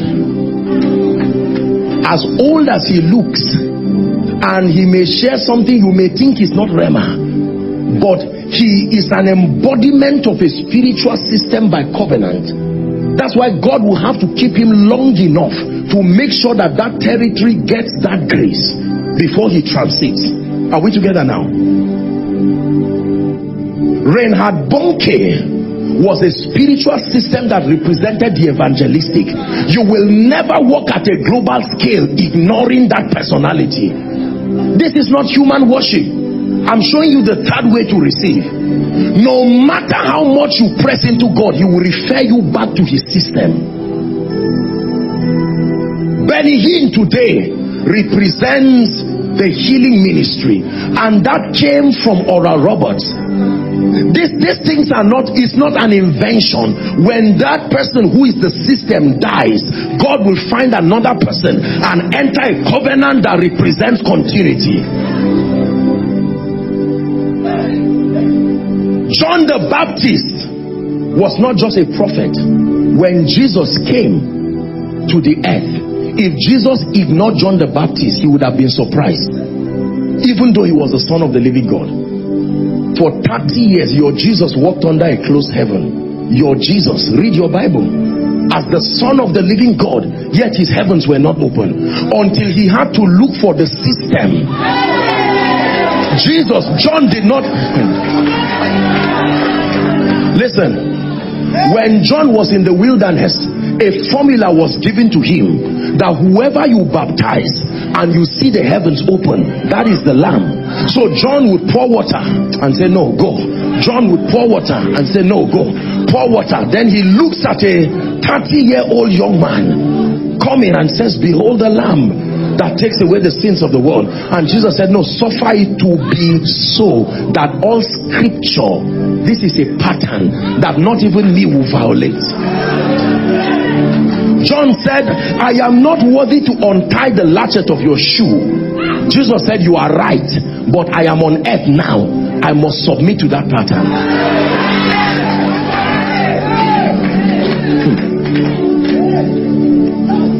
And then the Bible says, John held Jesus, dipped him in water, brought him out. What does your Bible say? And the heavens opened. And then God now spoke and said, This is my beloved son. Question What was he before? And then listen, he said, This is my beloved son who has visited your crusade? No. In whom i am well pleased. He said as a result of this submission hear ye him. Everywhere jesus went they could not resist his ministry because there was a hear ye him anointing. There is a grace. Do you believe what i'm saying now, I know here and there you will always find exaggerations where people will use this to manipulate people, but let me tell you this we can do nothing against the truth or the truth, but for the truth. This ministry you see, there is a dimension of God's grace that has been committed to your pastor.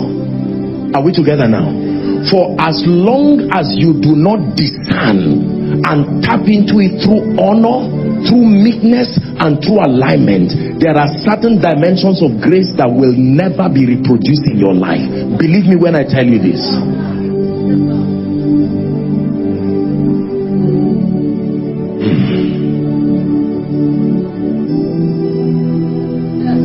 Saul, who later became Paul, encountered Jesus Christ.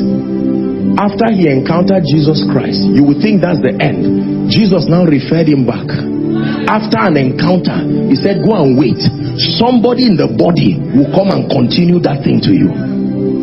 Jesus referred him back. Why will you need someone else when you've met jesus?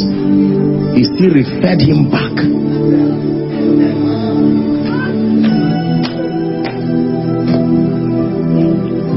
When you honor men it is not human worship when it is done within the jurisdiction of scripture you are discerning that there is a dimension of the investment of God upon this man. Otherwise certain results will not be possible. Listen there are results that are bigger than your personal spiritual life. It is an elevation that the election of grace has taken you to. Are we together while it is true that many times we men of God would like to tell you everything you see is a perfect reflection of our spiritual lives, it may not be entirely true. There are dimensions of this elevation that is purely an election of grace. And it is because of what God is doing and his program.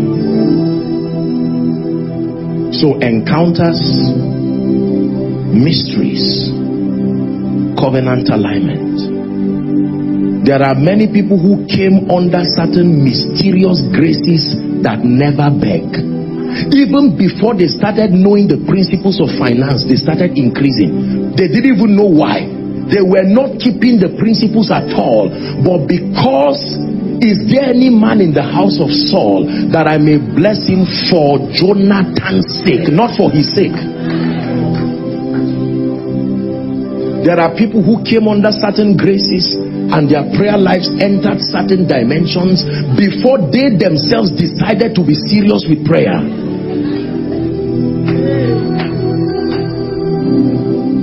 The same way you are joined to certain friends and without your intention you begin to become maybe a wayward person. You see that now.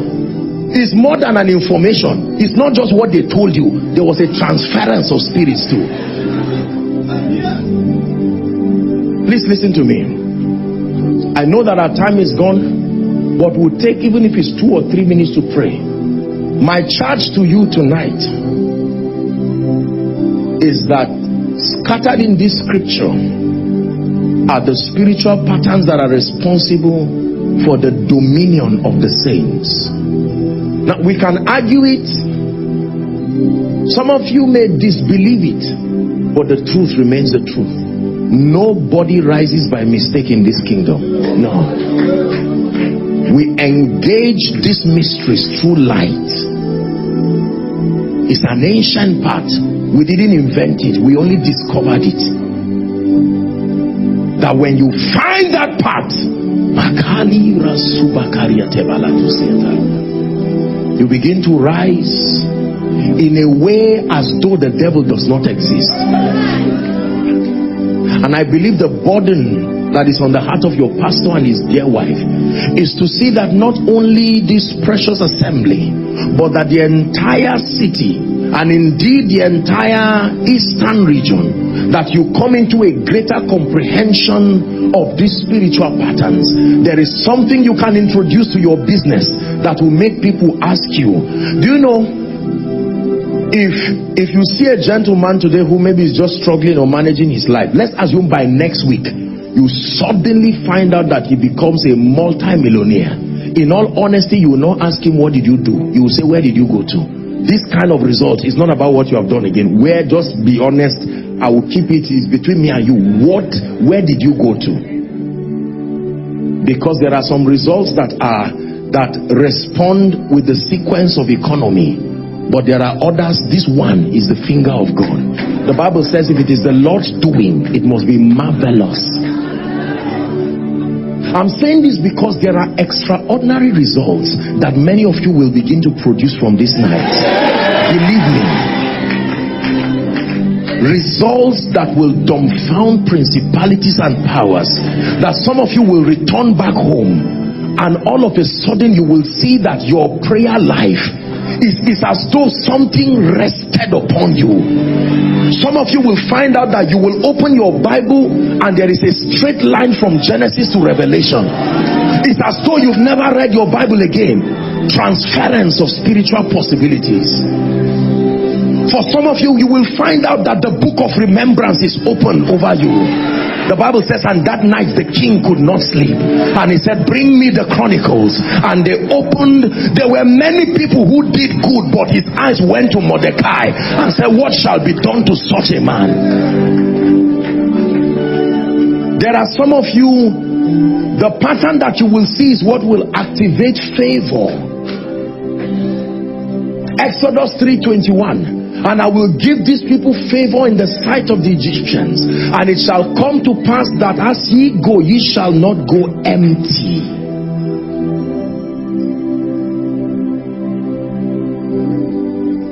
Some of you are crying. Don't be ashamed of this. You are looking at your family. I'd like you to look in one minute and just say, wow. So if my father had known this, if my sincere missionary parents, as well meaning as they were, if they only knew that there was a pattern that, prov that provides speed, that there is a pattern that can veto causes and yokes, regardless the speakings of darkness, and bring a man to a position of power in the spirit. Are you ready to pray? Just for one minute, our time is up.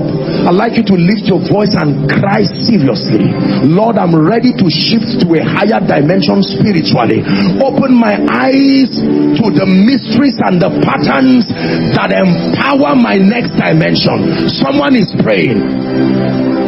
I release my faith with your pastor so that you will produce real results. For some of you, you need a multiplication of unction.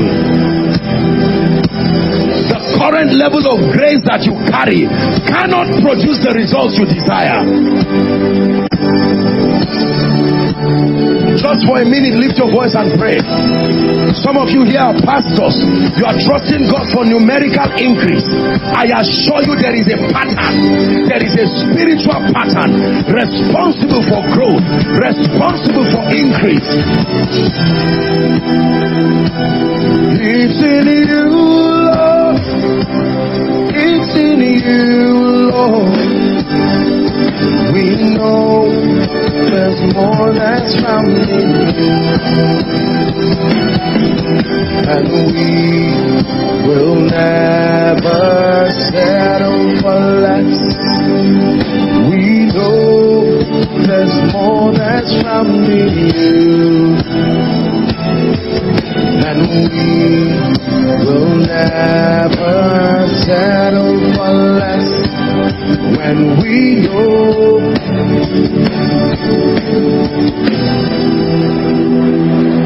Hallelujah. Please look up. Let me just encourage you. I'm sure that your pastor will come. We may not have the time to minister to the sick. I'd like you to come with your heart open tomorrow and trust God. Among the many things that I believe that God will be doing tomorrow is transference of graces. Graces are transferable. There is no one, it is never God's intention that a dimension of possibility resides and remains only with one person. Whenever he sends a word to Jacob is because he intends for it to reach Israel. So come with your heart open. You are in ministry. You are trusting God to really shift you. Some of you have prayer groups. Some of you, you discern that there are graces that God is giving you, that you are part of the prophetic program of God within the east of the Niger. Please come with your heart opened. Some of you are trusting God for a release or a higher release of certain dimensions of grace, discernment, the prophetic. Come with your heart open. Hallelujah. And I pray for you tonight, inside and outside, in the name of Jesus. Let there be angelic activities on your behalf. In the name of Jesus Christ, we release all kinds of breakthroughs tonight. We command all kinds of possibilities tonight.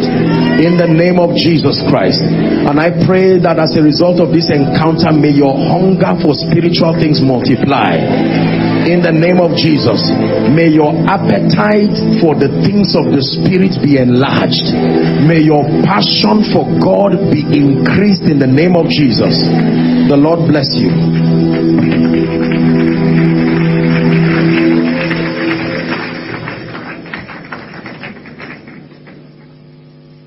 While we remain standing, can we just raise our two hands and just speak in the Holy Ghost? Can we just be very, very intentional about speaking in the Holy Ghost?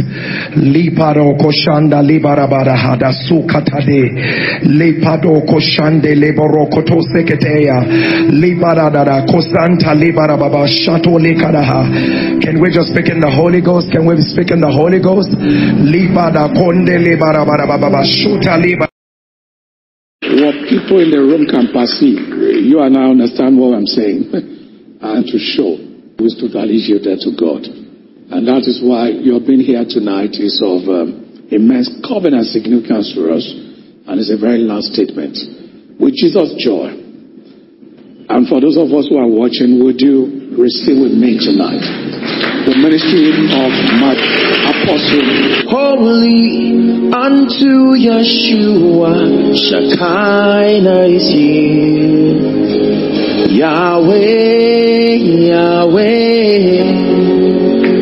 Eh, eh,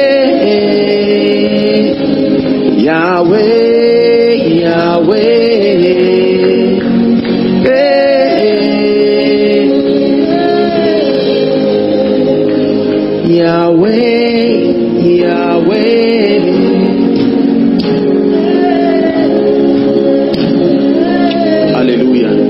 lift our voices in one minute in the studio and around following. Just cry for the spirit of revelation. The spirit of revelation.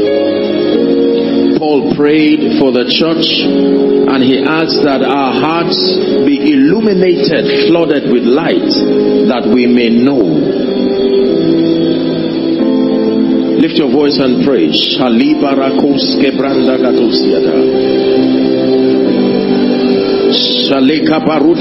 Balada balakosia.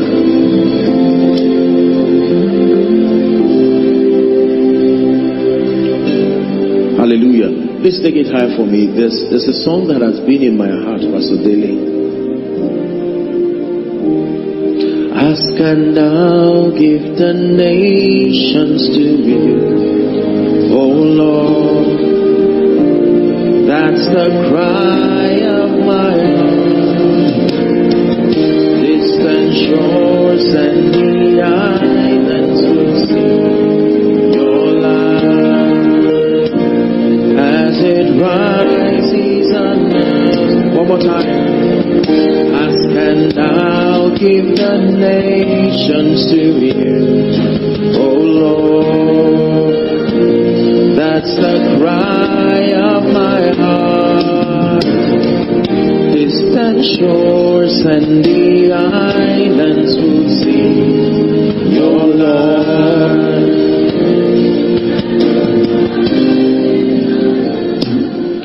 Help us, Spirit of the living God. Grant us grace tonight in the name of Jesus. Seated, thank you. Thank you very, very much. I came here with joy in my heart. I also came here with a burden in my spirit. It's an honor, Pastor Dele. Thank you so much. It truly is an honor to be a contributor to help build the body. This has been my passion for many years to see that all together as a body that we become matured as far as spiritual things are concerned. And um, I don't know how far I'll be able to cover in this this conference, but I pray that God will grant us grace. Wherever we stop, that that will be fine for this time. I have a course content. Is it alright if we write? There is a course content for I'm I'm really I'm really not not interested in preaching as far as this conference is concerned. I think the idea is to communicate these truths and to really um, give it the justice it demands to get into our spirits. Hallelujah. And so I divided my my session into three, and um, we'll try to take the first part tonight, and then in the morning, then we'll wrap up in the evening. It was just an attempt by the Spirit of God to continue where Pastor Poju, Pastor Godman, and you know all of the ministrations that have come before me. Number one is the assignment.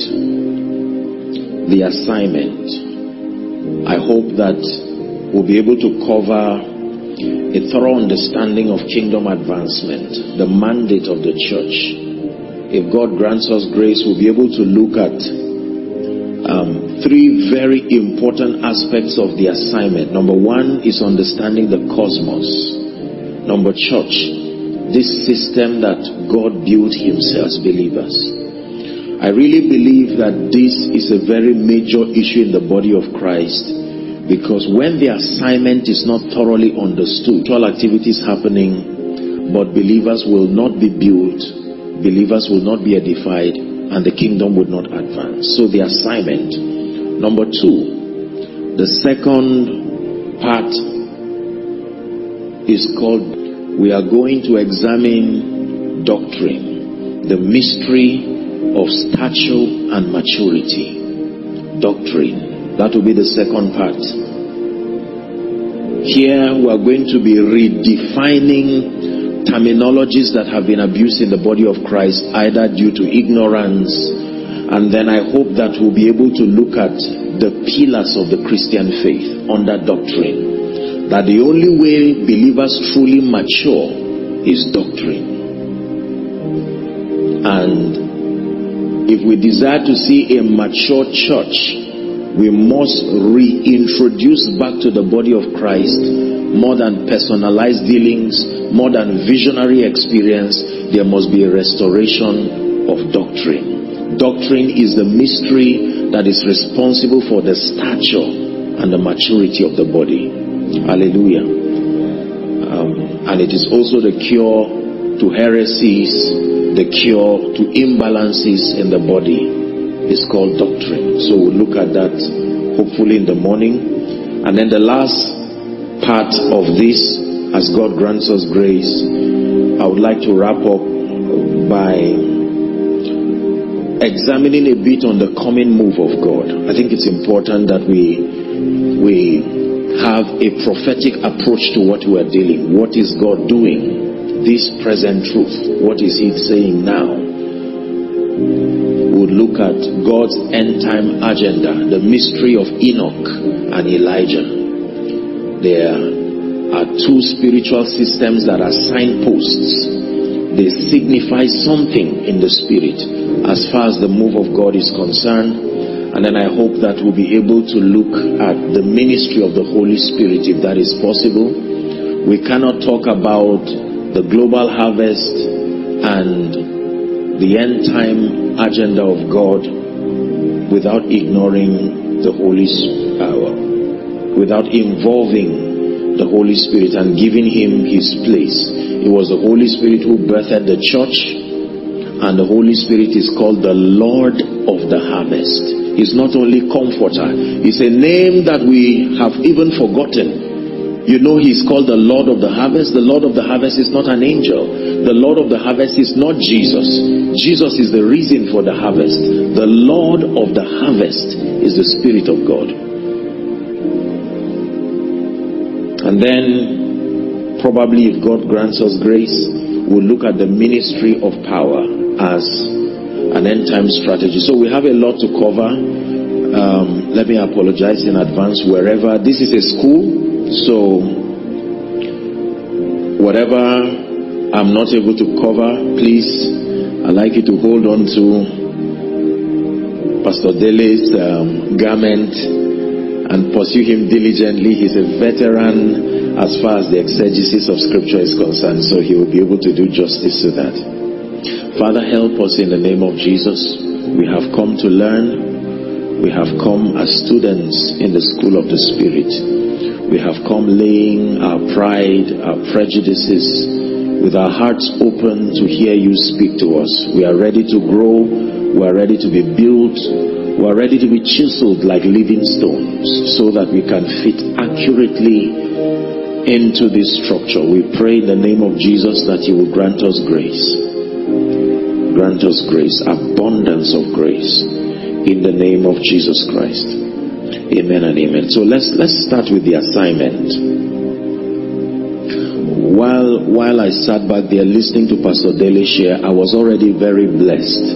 You know, when you read Acts chapter 1, very powerful charge you gave, sir. All right? You could just reduce the volume a bit so that it doesn't distract.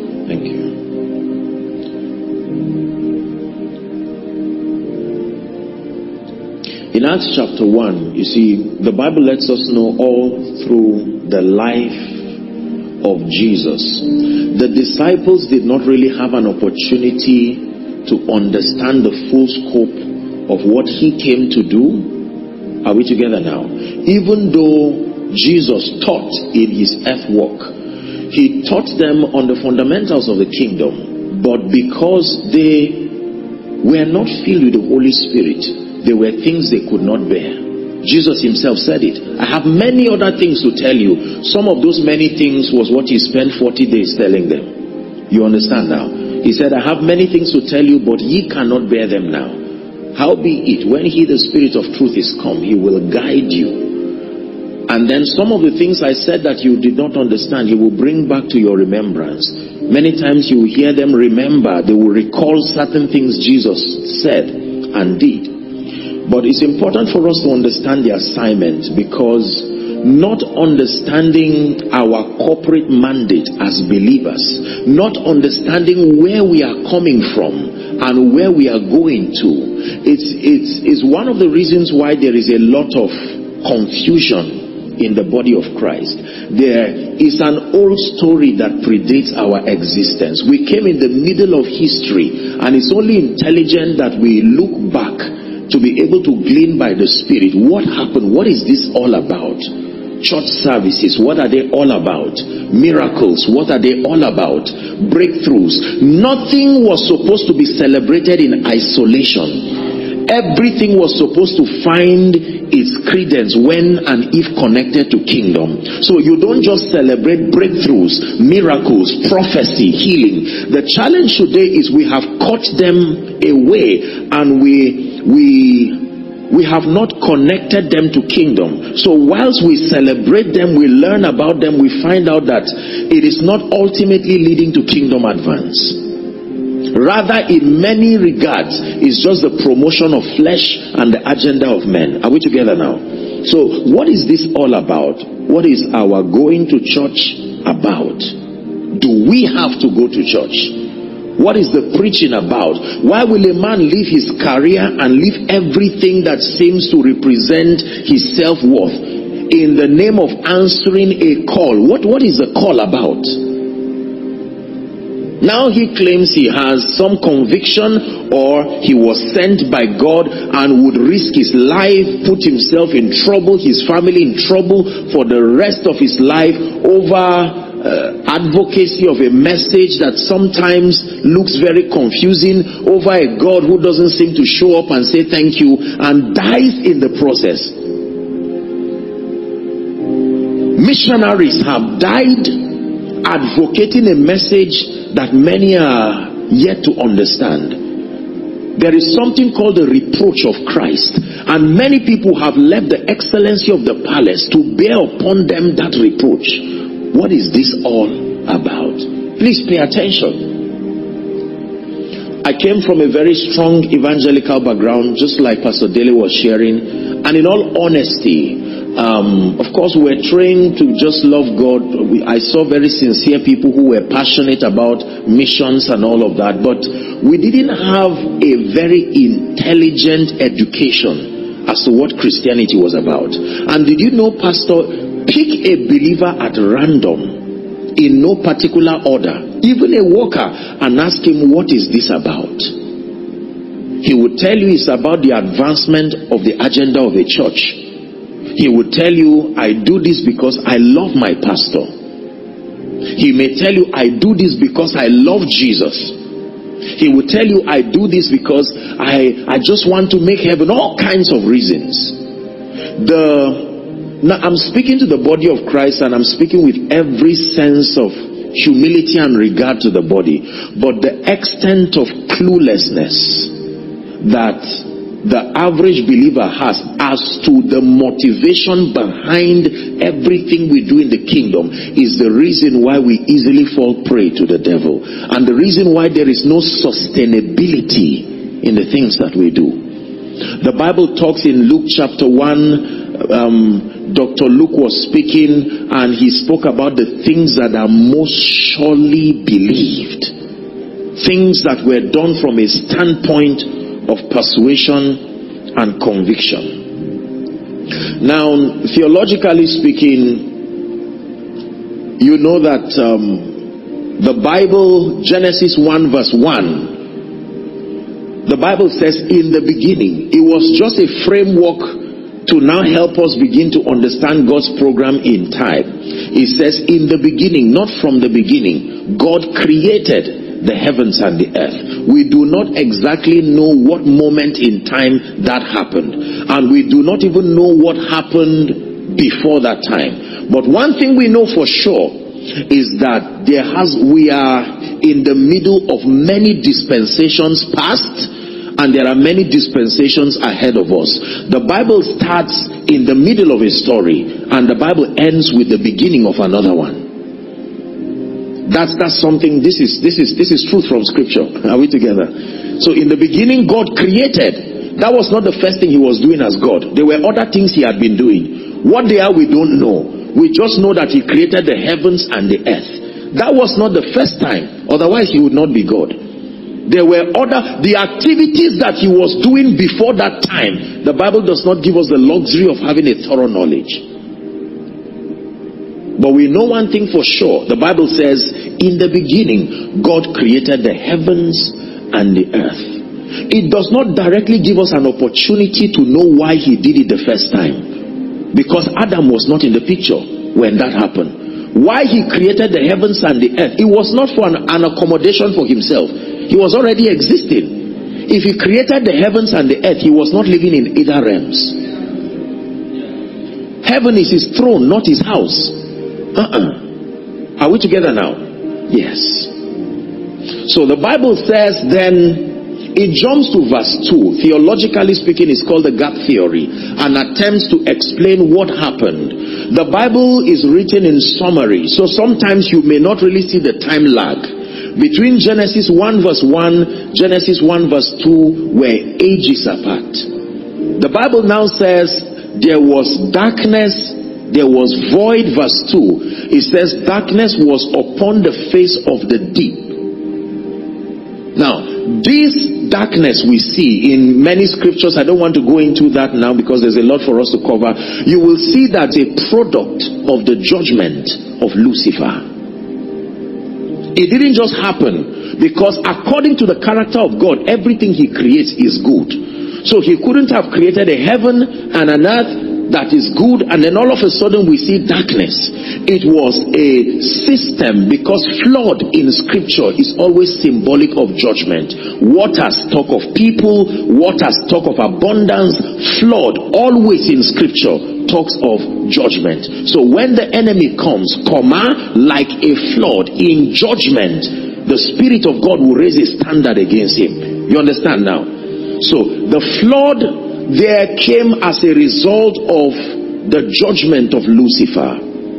When Job, we know again theologically that the book of Genesis, people argue that it predated Job.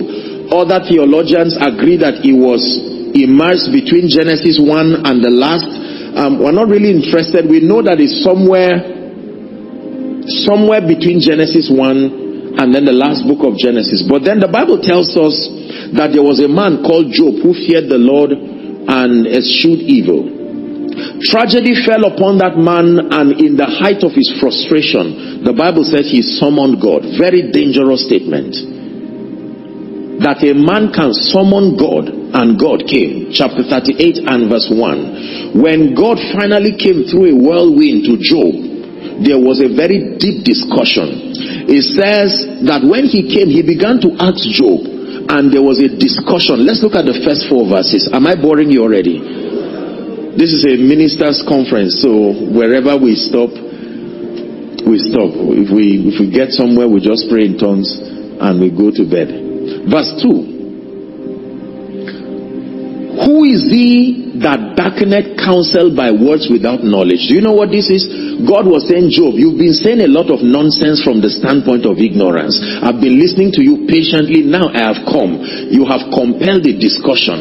And he asked him a few questions. Verse 3 Say, guard up your loins like a man, for I will demand of thee and answer me. Now, this is the communication of the mysteries of creation. Question 1. Where was thou when I laid the foundations of the earth? You don't find that in Genesis 1. No, that was not there. Uh-uh. This was the creation before the recreation that we call creation. There was an actual foundation laying ceremony. Where is that foundation today? Because geography tells us the earth is round.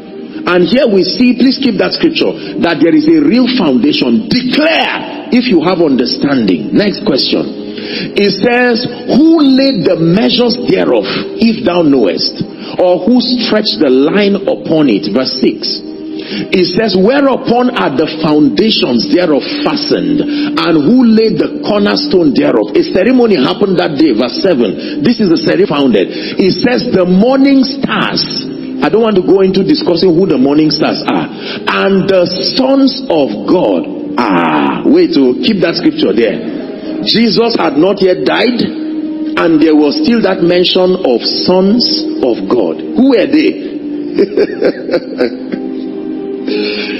ah, goodness. I'm sorry, I don't sound sarcastic. I mean, I'm just amazed at the ignorance in the body. You know, the more we know God, honestly, should bring us back to our knees because a lot of the nonsense we pride ourselves in, while we continue to pride ourselves, the realm of the spirit is surprised at the vastness of our ignorance and yet the pride that follows that ignorance. Look at this scripture. Look at it. It's in your Bible that there was a day, brothers and sisters, we never, there were no men when God was recreating the earth. Genesis 1 verse 2. It was only the Spirit of God and the voice of God. Light be, light be, light be until Adam came. But God is saying, before this your story, there was another one. You need to know this to know why. You need to know this to know why he's bringing barrenness. Then you will not. You will now know why he gave you an anointing to heal. If you do not understand the story, you will be in the middle of a history you don't understand. So why is he giving us power? Why does he want all men saved? You see why evangelism is not effective because there is no history that supports that provides the power and the force. There is an old story that we must understand. Are we blessed?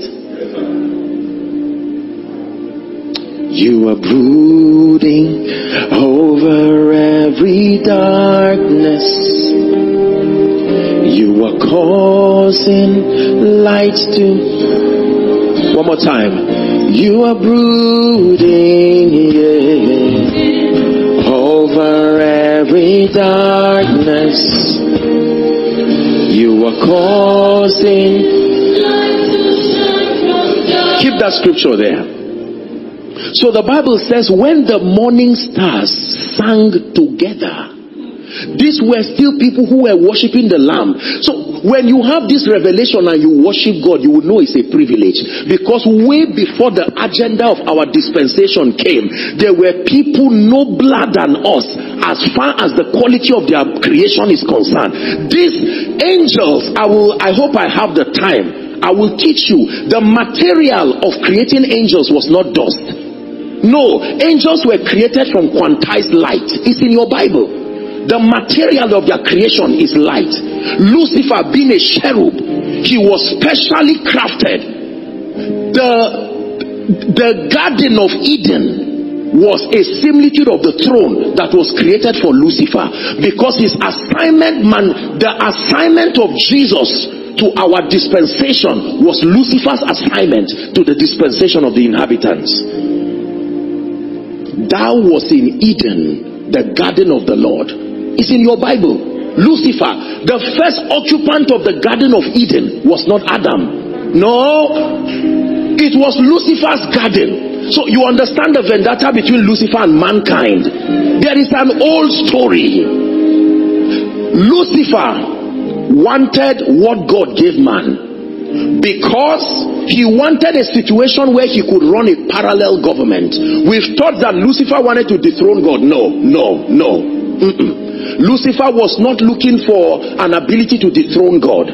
You want to know the agenda of Lucifer? Look at the system of the Antichrist. It does not seek to dethrone, it seeks to run a parallel government. So Lucifer never wanted to dethrone God, but he wanted to run a government so you could choose either God or him. And don't downplay that agenda because he led one third of the angels. They believed that agenda was possible. Lucifer is someone who there is a lot of lessons to learn from. Oh dear, I wish I wish that um, this was a night vigil.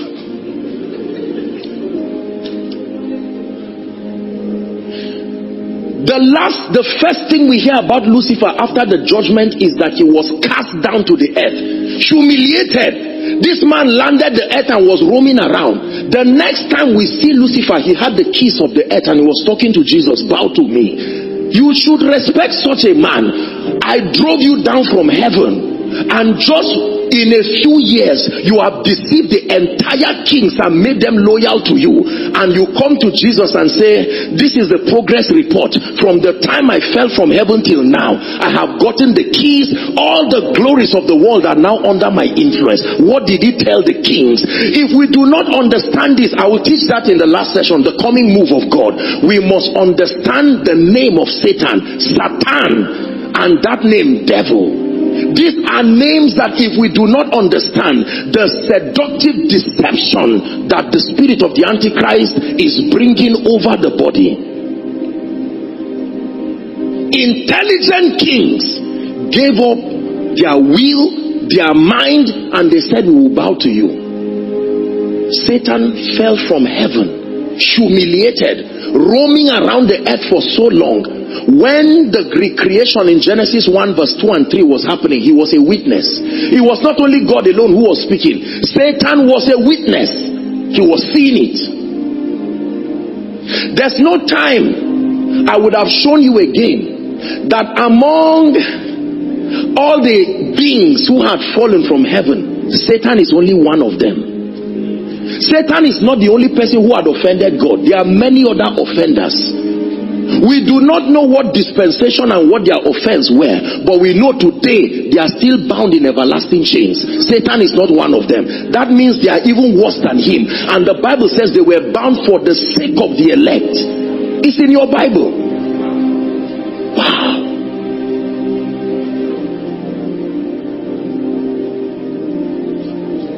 then you will understand why the lake of fire was created. The lake of fire is part of God's kingdom. I hope you know.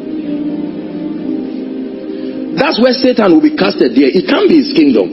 The lake of fire is part of is God's invention, is part of his justice system. Let's pray in the spirit in one minute. Shilaruski barando shalakruski badiana. Eti God. Masobra tasile heshene katosia katabra. Kadabrande galekosia dabalatusia.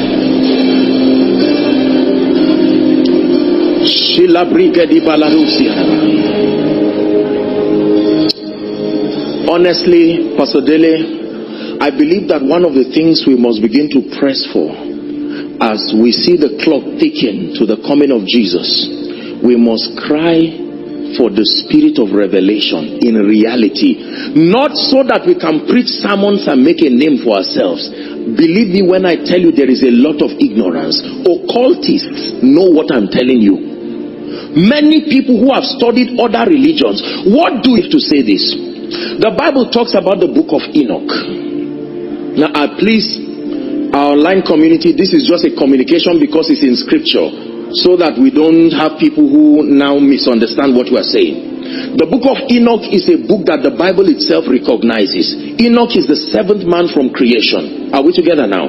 I will teach that in the last session. He is one of the two signs that must happen before the coming of Christ is the mystery of Enoch and the mystery of Elijah. They were not just men, they were spiritual systems that signify something. Are we together now? You cannot understand the coming move of God until you understand Enoch and Elijah. Malachi tells us before the coming of the great and terrible day of the Lord, Elijah will come again. Elijah is the spirit that always foreruns revival. Wherever God is about to show up in a city, Elijah must precede. He has an assignment to restore the altars of the Lord. That will deal with it. I'm just running ahead of myself. We have a serious discussion here. But I'm saying that the powers and the principalities that we attempt to rebuke and do all of this, they are aware of this. You see, the word exousia, when I teach on the ministry of power, the word exousia, there are four words that are used to signify power and authority. One is called iskos, one is called kratos, the other is called dunamis, and the last is called exousia. Dunamis is the outworkings of the power of the spirit. Exousia is the outworking of the authority that comes through enlightenment. So there is something that leads to exousia there is something that leads to dunamis. Are we together now? Merely just confessing scripture and just saying in the name of Jesus, I command this devil to go just because Jesus said in my name. If that were that easy, there will be no need for a 40 days lecture because he already gave them the name. And they went and returned back and said even the devils. Now he was teaching them something. Why teach them doctrine again? When you had given them the name. Before he died oh and they returned back with that power.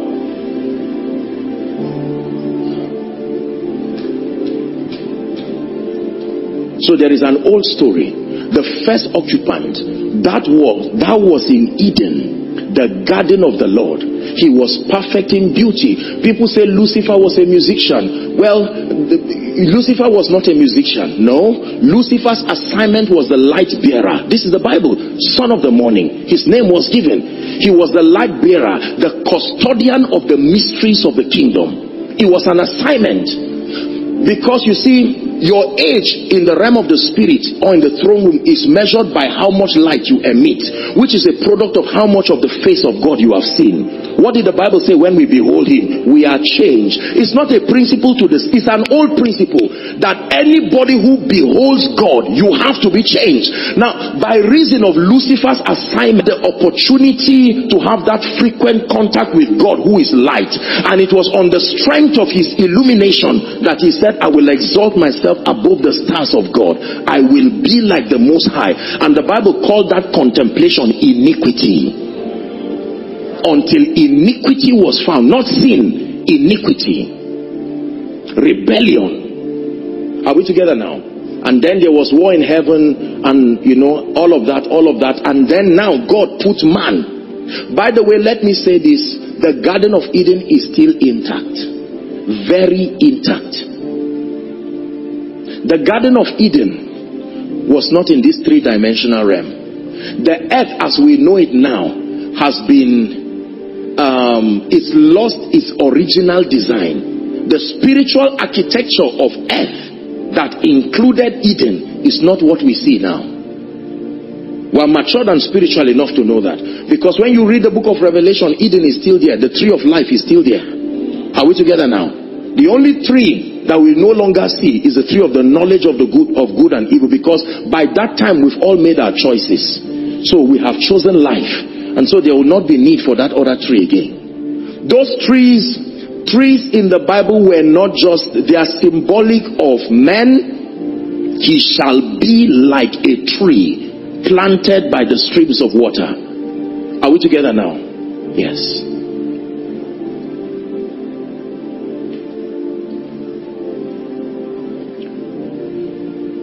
When we understand this, then we'll understand why Satan came. The Bible tells us that when God created Adam and Eve, he gave them instructions and he left them. He would come in the cool of the day. It was not a difficult thing to interface with the realm of the spirit as we have now.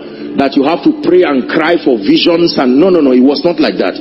God would come in the cool of the day and fellowship with man. And the Bible says Satan, now notice, according to spiritual ranking, Satan did not have the authority to confront Adam. We never see a conversation between Satan and Adam. Satan had to respect that spiritual organogram. He respected that spiritual organogram. He came to Adam through Eve. And today he still wants to get the Adam, the Christ, through his bride, the Eve of that Adam. That's why Satan continues to come to us, the church, because we are the Eve of that second Adam. Are we together now? And the same strategy he used over Eve is what is still coming now. The seduction that leads to deception. Did God really say? That is the theme. Did God really say? He does not say it now by speaking. He says it by using situations and circumstances, but it's still the same question. Did God really say you will rise? Did God really say the church will grow? He will use things when you understand the strategy of the devil. Paul said, Do not be ignorant of the devil's devices, is the word stratomai, his methodologies.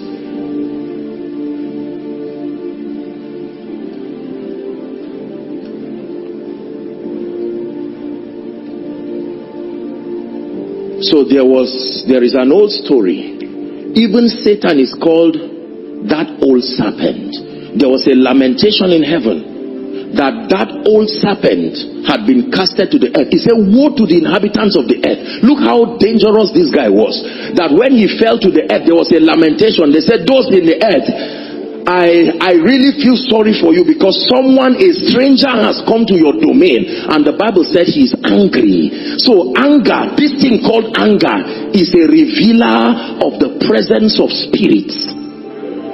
It's not just the issue of attitude. Uh-uh there is a dimension of anger that normal men should not have. If your anger exceeds that dimension, it calls for the introduction of the power of God in your life because ordinary men do not have that level of anger. Now you understand where terrorists get their empowerment. You should, humans by default cannot stretch beyond certain levels of brutality. It is not given to men. Watch an accident happen. They won't ask you whether you're a Christian or you're a Muslim. Everybody comes. Those are men. But when you see a man who can kill you and butcher you and not feel anything, someone who fell with anger is at work in this system. We really need to know what we are after. Remember, we are looking at the assignment. Is it true that the assignment is to build a building, as important as that is? Is it true that the assignment is to get membership, as important as that is? Is it true that the assignment is to look good and teach well and hold conventions and conferences? Is that really it? Does it sound like it to you now? No.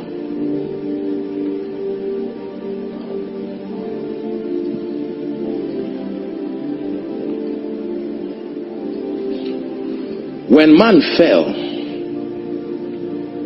there are three levels, Pastor Please, while you are sitting, just be praying for me. Let me just contain myself and be able to constructively communicate something this night.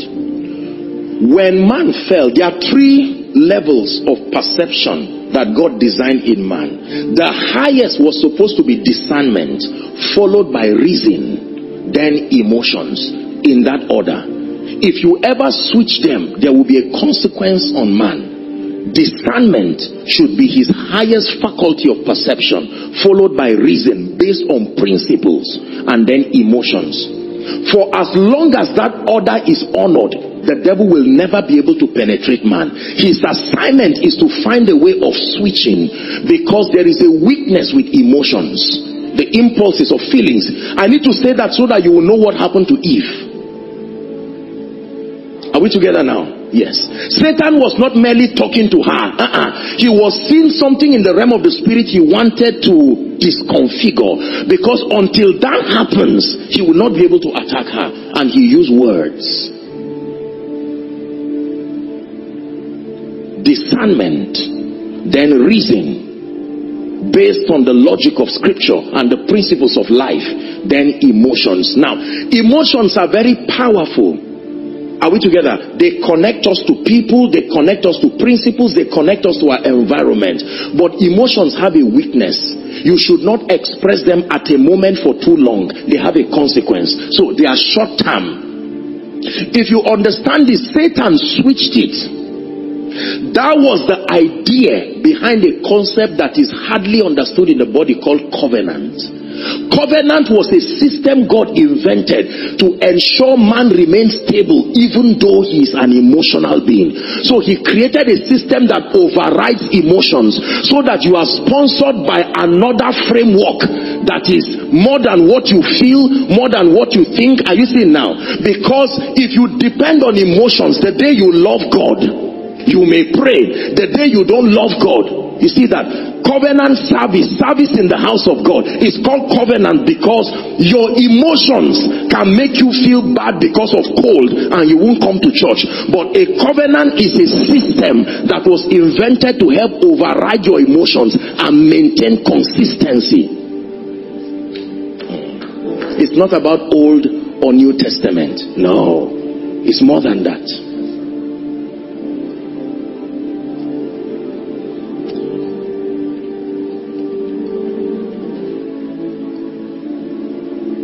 So man fell. Let's let's hurry up. Let's make sense of this. Man fell. Watch this. The Bible says when man fell, The Lord God, he called him the talking spirit, that he came in the cool of the day and did not see Adam. God did not find Adam. Where can I hide from your presence? But now he's not seeing Adam. Because look at the question God is asking Adam, where are you? And Adam said, I heard your voice, but I hid because I was naked. He says, Who told you? You have begun to listen. Someone has introduced an information. Who told you you were naked? You see now, the solical realm, there has been an activation of your emotions. Who did this? Who told you? And he said, The woman that you have kept with me. Now, let me share something very powerful. In the kingdom, you transfer power by transferring responsibility. When the Bible says do everything without complaining or arguing, it's a very powerful advice. Do you know the moment he transferred responsibility to the woman, God did not talk to him again. He said, woman, now that this man has transferred authority to you, if the woman kept quiet, she will become the head of man immediately. Yes. This is Bible. Everything I'm telling you is scripture. Woman, what is this that you have done? The woman now said, The serpent. He beguiled me. You see where Satan became the. She transferred authority by blaming. Now, Satan did not complain. That's what made him the God of this world. So you now see why Jesus stood before Pontius Pilate. And when they were talking to him, what did he do? Yes, sir.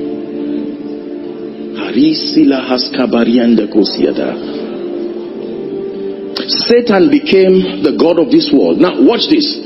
God banished man out of Eden. Eden was not destroyed. There's no record in scripture that Eden was burnt with fire. No. He banished man out of Eden to now what we call our earth. And two things protected Eden. One, the cherubims. Two, the flaming sword. That means it was not just a natural place that needed gates like this. I told you Eden is still intact. Eden was lifted from our domain and all we had was this, our stratosphere and this, our atmosphere. Eden is still intact.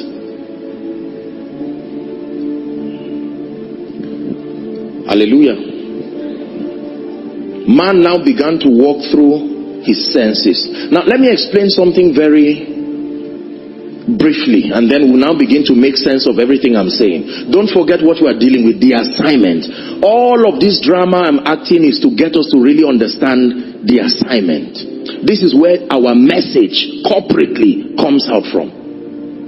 Are we blessed? Yeah. Until Adam and Eve there was no other dispensation recorded in Bible where reproduction happened. No. Every time God wanted to multiply, it was through creation, not reproduction. Our dispensation would be the first to see that invention. Are we together now? So Satan, in all the archives of knowledge he had, never knew that it was a possibility that there could be multiplication through reproduction. Listen very carefully and you understand why barrenness, why all of these things so that it is on the strength of that knowledge that anointing can flow through you. When you are praying for a barren woman, you are not just attesting to the fact that you are a man of God. You are coming from the standpoint of intelligence and the realm of the spirit knows that you are not just a dispenser of power blindly. You are coming full of knowledge. Are we together now? Yes. Satan was happy because according to him, he believed there would only be two people on earth. So his focus was who else will be created. He did not know that a strategy was now put in man. Are we together now? Suddenly, the Bible says, and Adam knew his wife. Satan began to see the stomach of a woman protrude. What is in that stomach? He had never seen reproduction. And all of a sudden, she gave birth to Cain. You now see what made Satan come to Cain. Cain was innocent. What did Cain do?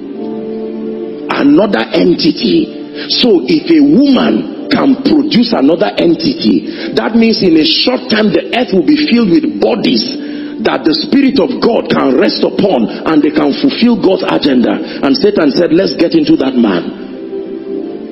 Then Abel now came And Satan said, No, Cain, I have to walk through you to kill Abel. What is the whole agenda? It's a depopulation agenda. Does that make sense to you what is happening on earth? That a depopulation agenda is not some group, it's an old agenda. Satan had tried through dispensations and failed. Satan hates men because men have bodies. A body has thou prepared for me.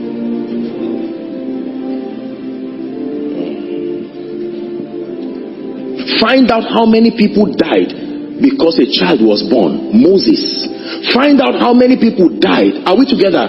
Listen, this is helping to now make sense that the thing which is is the thing which has been so when you see whether it is terrorism whatever it is you now when you are praying you pray from the lens of this intelligence that we just found ourselves in the middle of history this thing is an old story it's not about the foundation in your family that story is deeper than that it's not about the devil wanting to make you poor or not wanting you to have a child. That's, that is a little piece of the old story.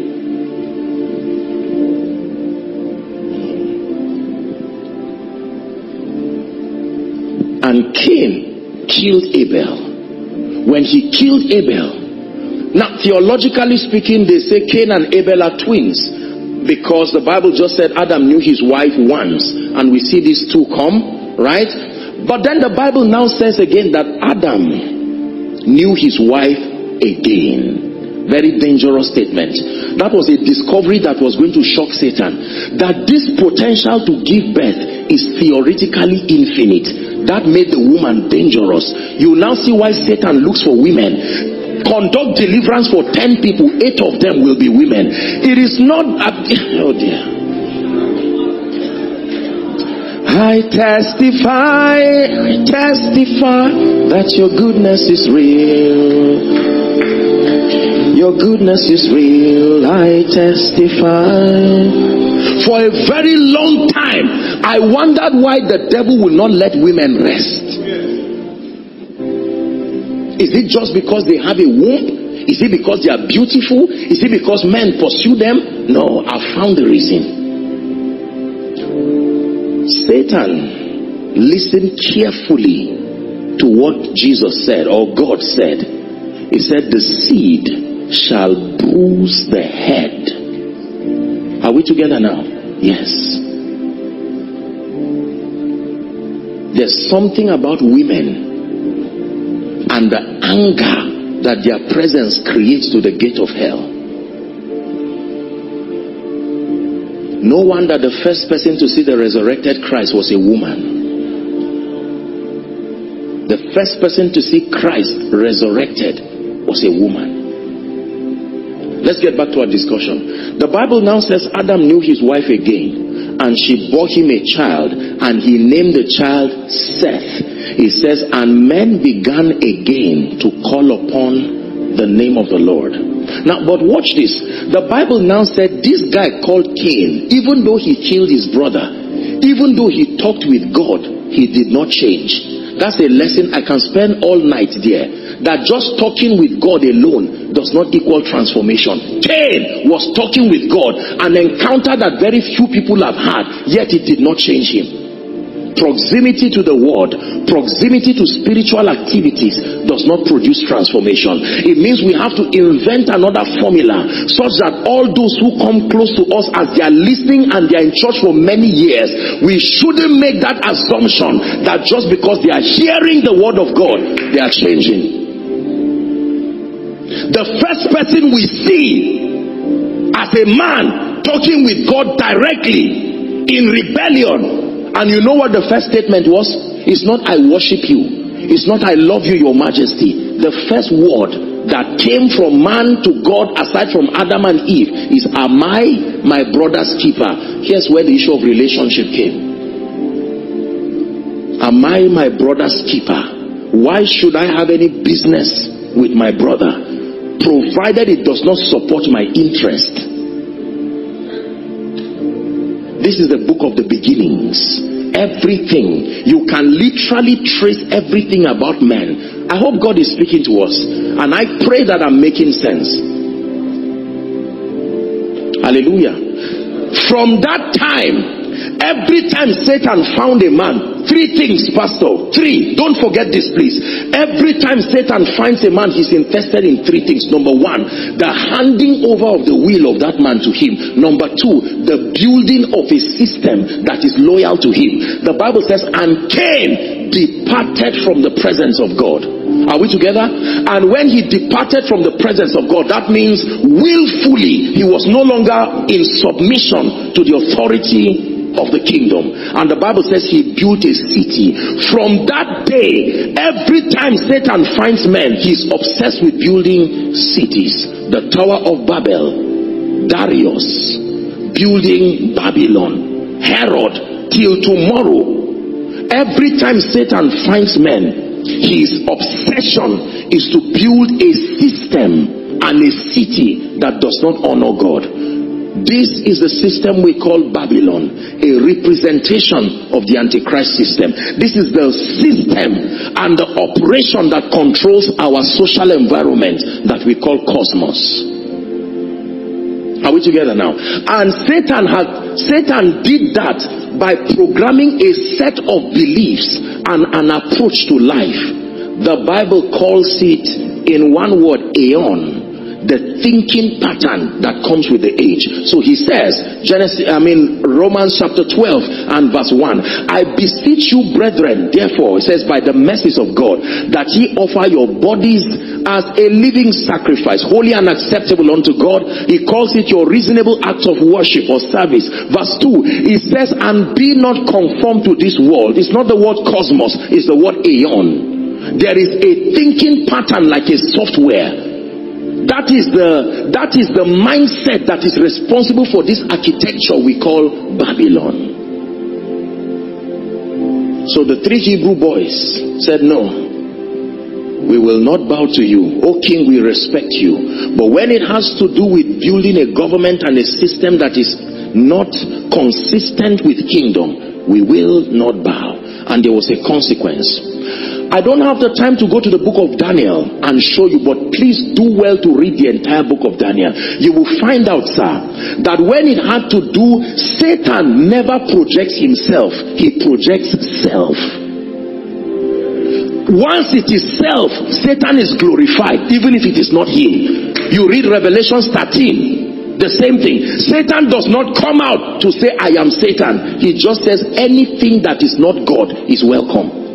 Nebuchadnezzar built whose image? Please talk to me. Whose image? So the moment you find yourself magnifying and glorifying self, don't ever be deceived. It is still Satan masquerading to an agency he has designed called self. So when you know this as a man of God, whilst you teach, you don't just sit down and just religiously say as the spirit leads. You can bring teachings that dethrone self in people because every manifestation of self, I tell you, is Satan. When Cain built a city, he named it after his son to glorify himself. When Nimrod Cush in Genesis 11, theologically speaking, you know that Nimrod killed his father and married his mother Semiramis, who is purported to be the queen of heaven. Are we together now? Yes, that's theology. Nimrod Cush gathered the people. They went to the land of Shinar and he says, go to come. Let us build brick and mortar and let us build a city whose top will reach the heavens. Now, there are many theological debates whether that was a physical kingdom or spiritual kingdom. One thing we know is that it was a threat because God Himself came down to destroy it.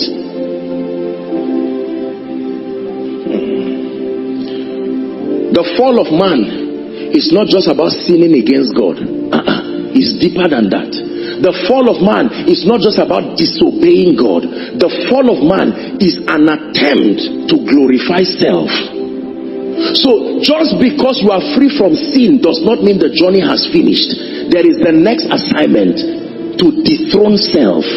If we don't teach believers this, the moment they, that's why we have many people in church who get born again and say, I'm born again for 10 years. Now he becomes a deacon, now he becomes a worker, and you still see self.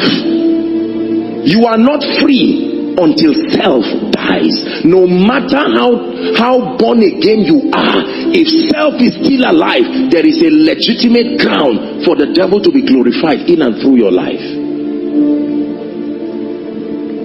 Are we blessed? Hmm. So man fell. From that time, all that we see happen, listen carefully, is a battle of two kingdoms. Right until Acts chapter 1, when Jesus rounded up his lecture. Please understand, it doesn't matter whether you are talking about the poetic books, the five books of Moses, the Pentateuch, the poetic books, and and the prophets minor prophets major prophets. Now you come to all of the other books gideon. All of those characters is just the passage of time the real story from the time man fell there was a battle and it's been a battle of two kingdoms replaced by different actors but the same battle what is the battle light over darkness, the kingdom of light, and an antichrist system. When God entered a covenant, listen carefully. When God entered a covenant with Father Abraham, and that covenant brought out a people, a people who were carved out, immediately Satan knew that the savior who would redeem the people must come out of these people. Israel became a threat. Everywhere they went nobody cared whether they hurt or anybody or not. Once you were a jew satan suspected that the savior that seed that will bruise the head of the serpent would come out of there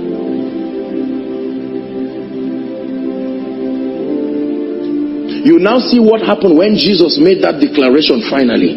Because Satan kept suspecting people. A prophet will arise, he will suspect, is that the Savior? Then the prophet will die. A prophet will arise, someone else will arise, and Satan will keep suspecting. Finally, John the Baptist arose and he Satan kept speaking to the scribes and the Pharisees. Are you the one to come? Why was he interested about that one to come? John further confused them. Who are you? He said, I'm the voice of one crying in the wilderness. What kind of description is that? Finally, a young virgin is minding her business one day, celebrating like every other lady, preparing they were going to see her parents. They had even given a down payment. She got up one morning. This is the day the Lord has made. Getting ready to prepare herself and listen to the lectures from the rabbi. An angel suddenly appears, bringing glad tidings. And he says, You are favored. And she wondered, What sort of salutation is this now?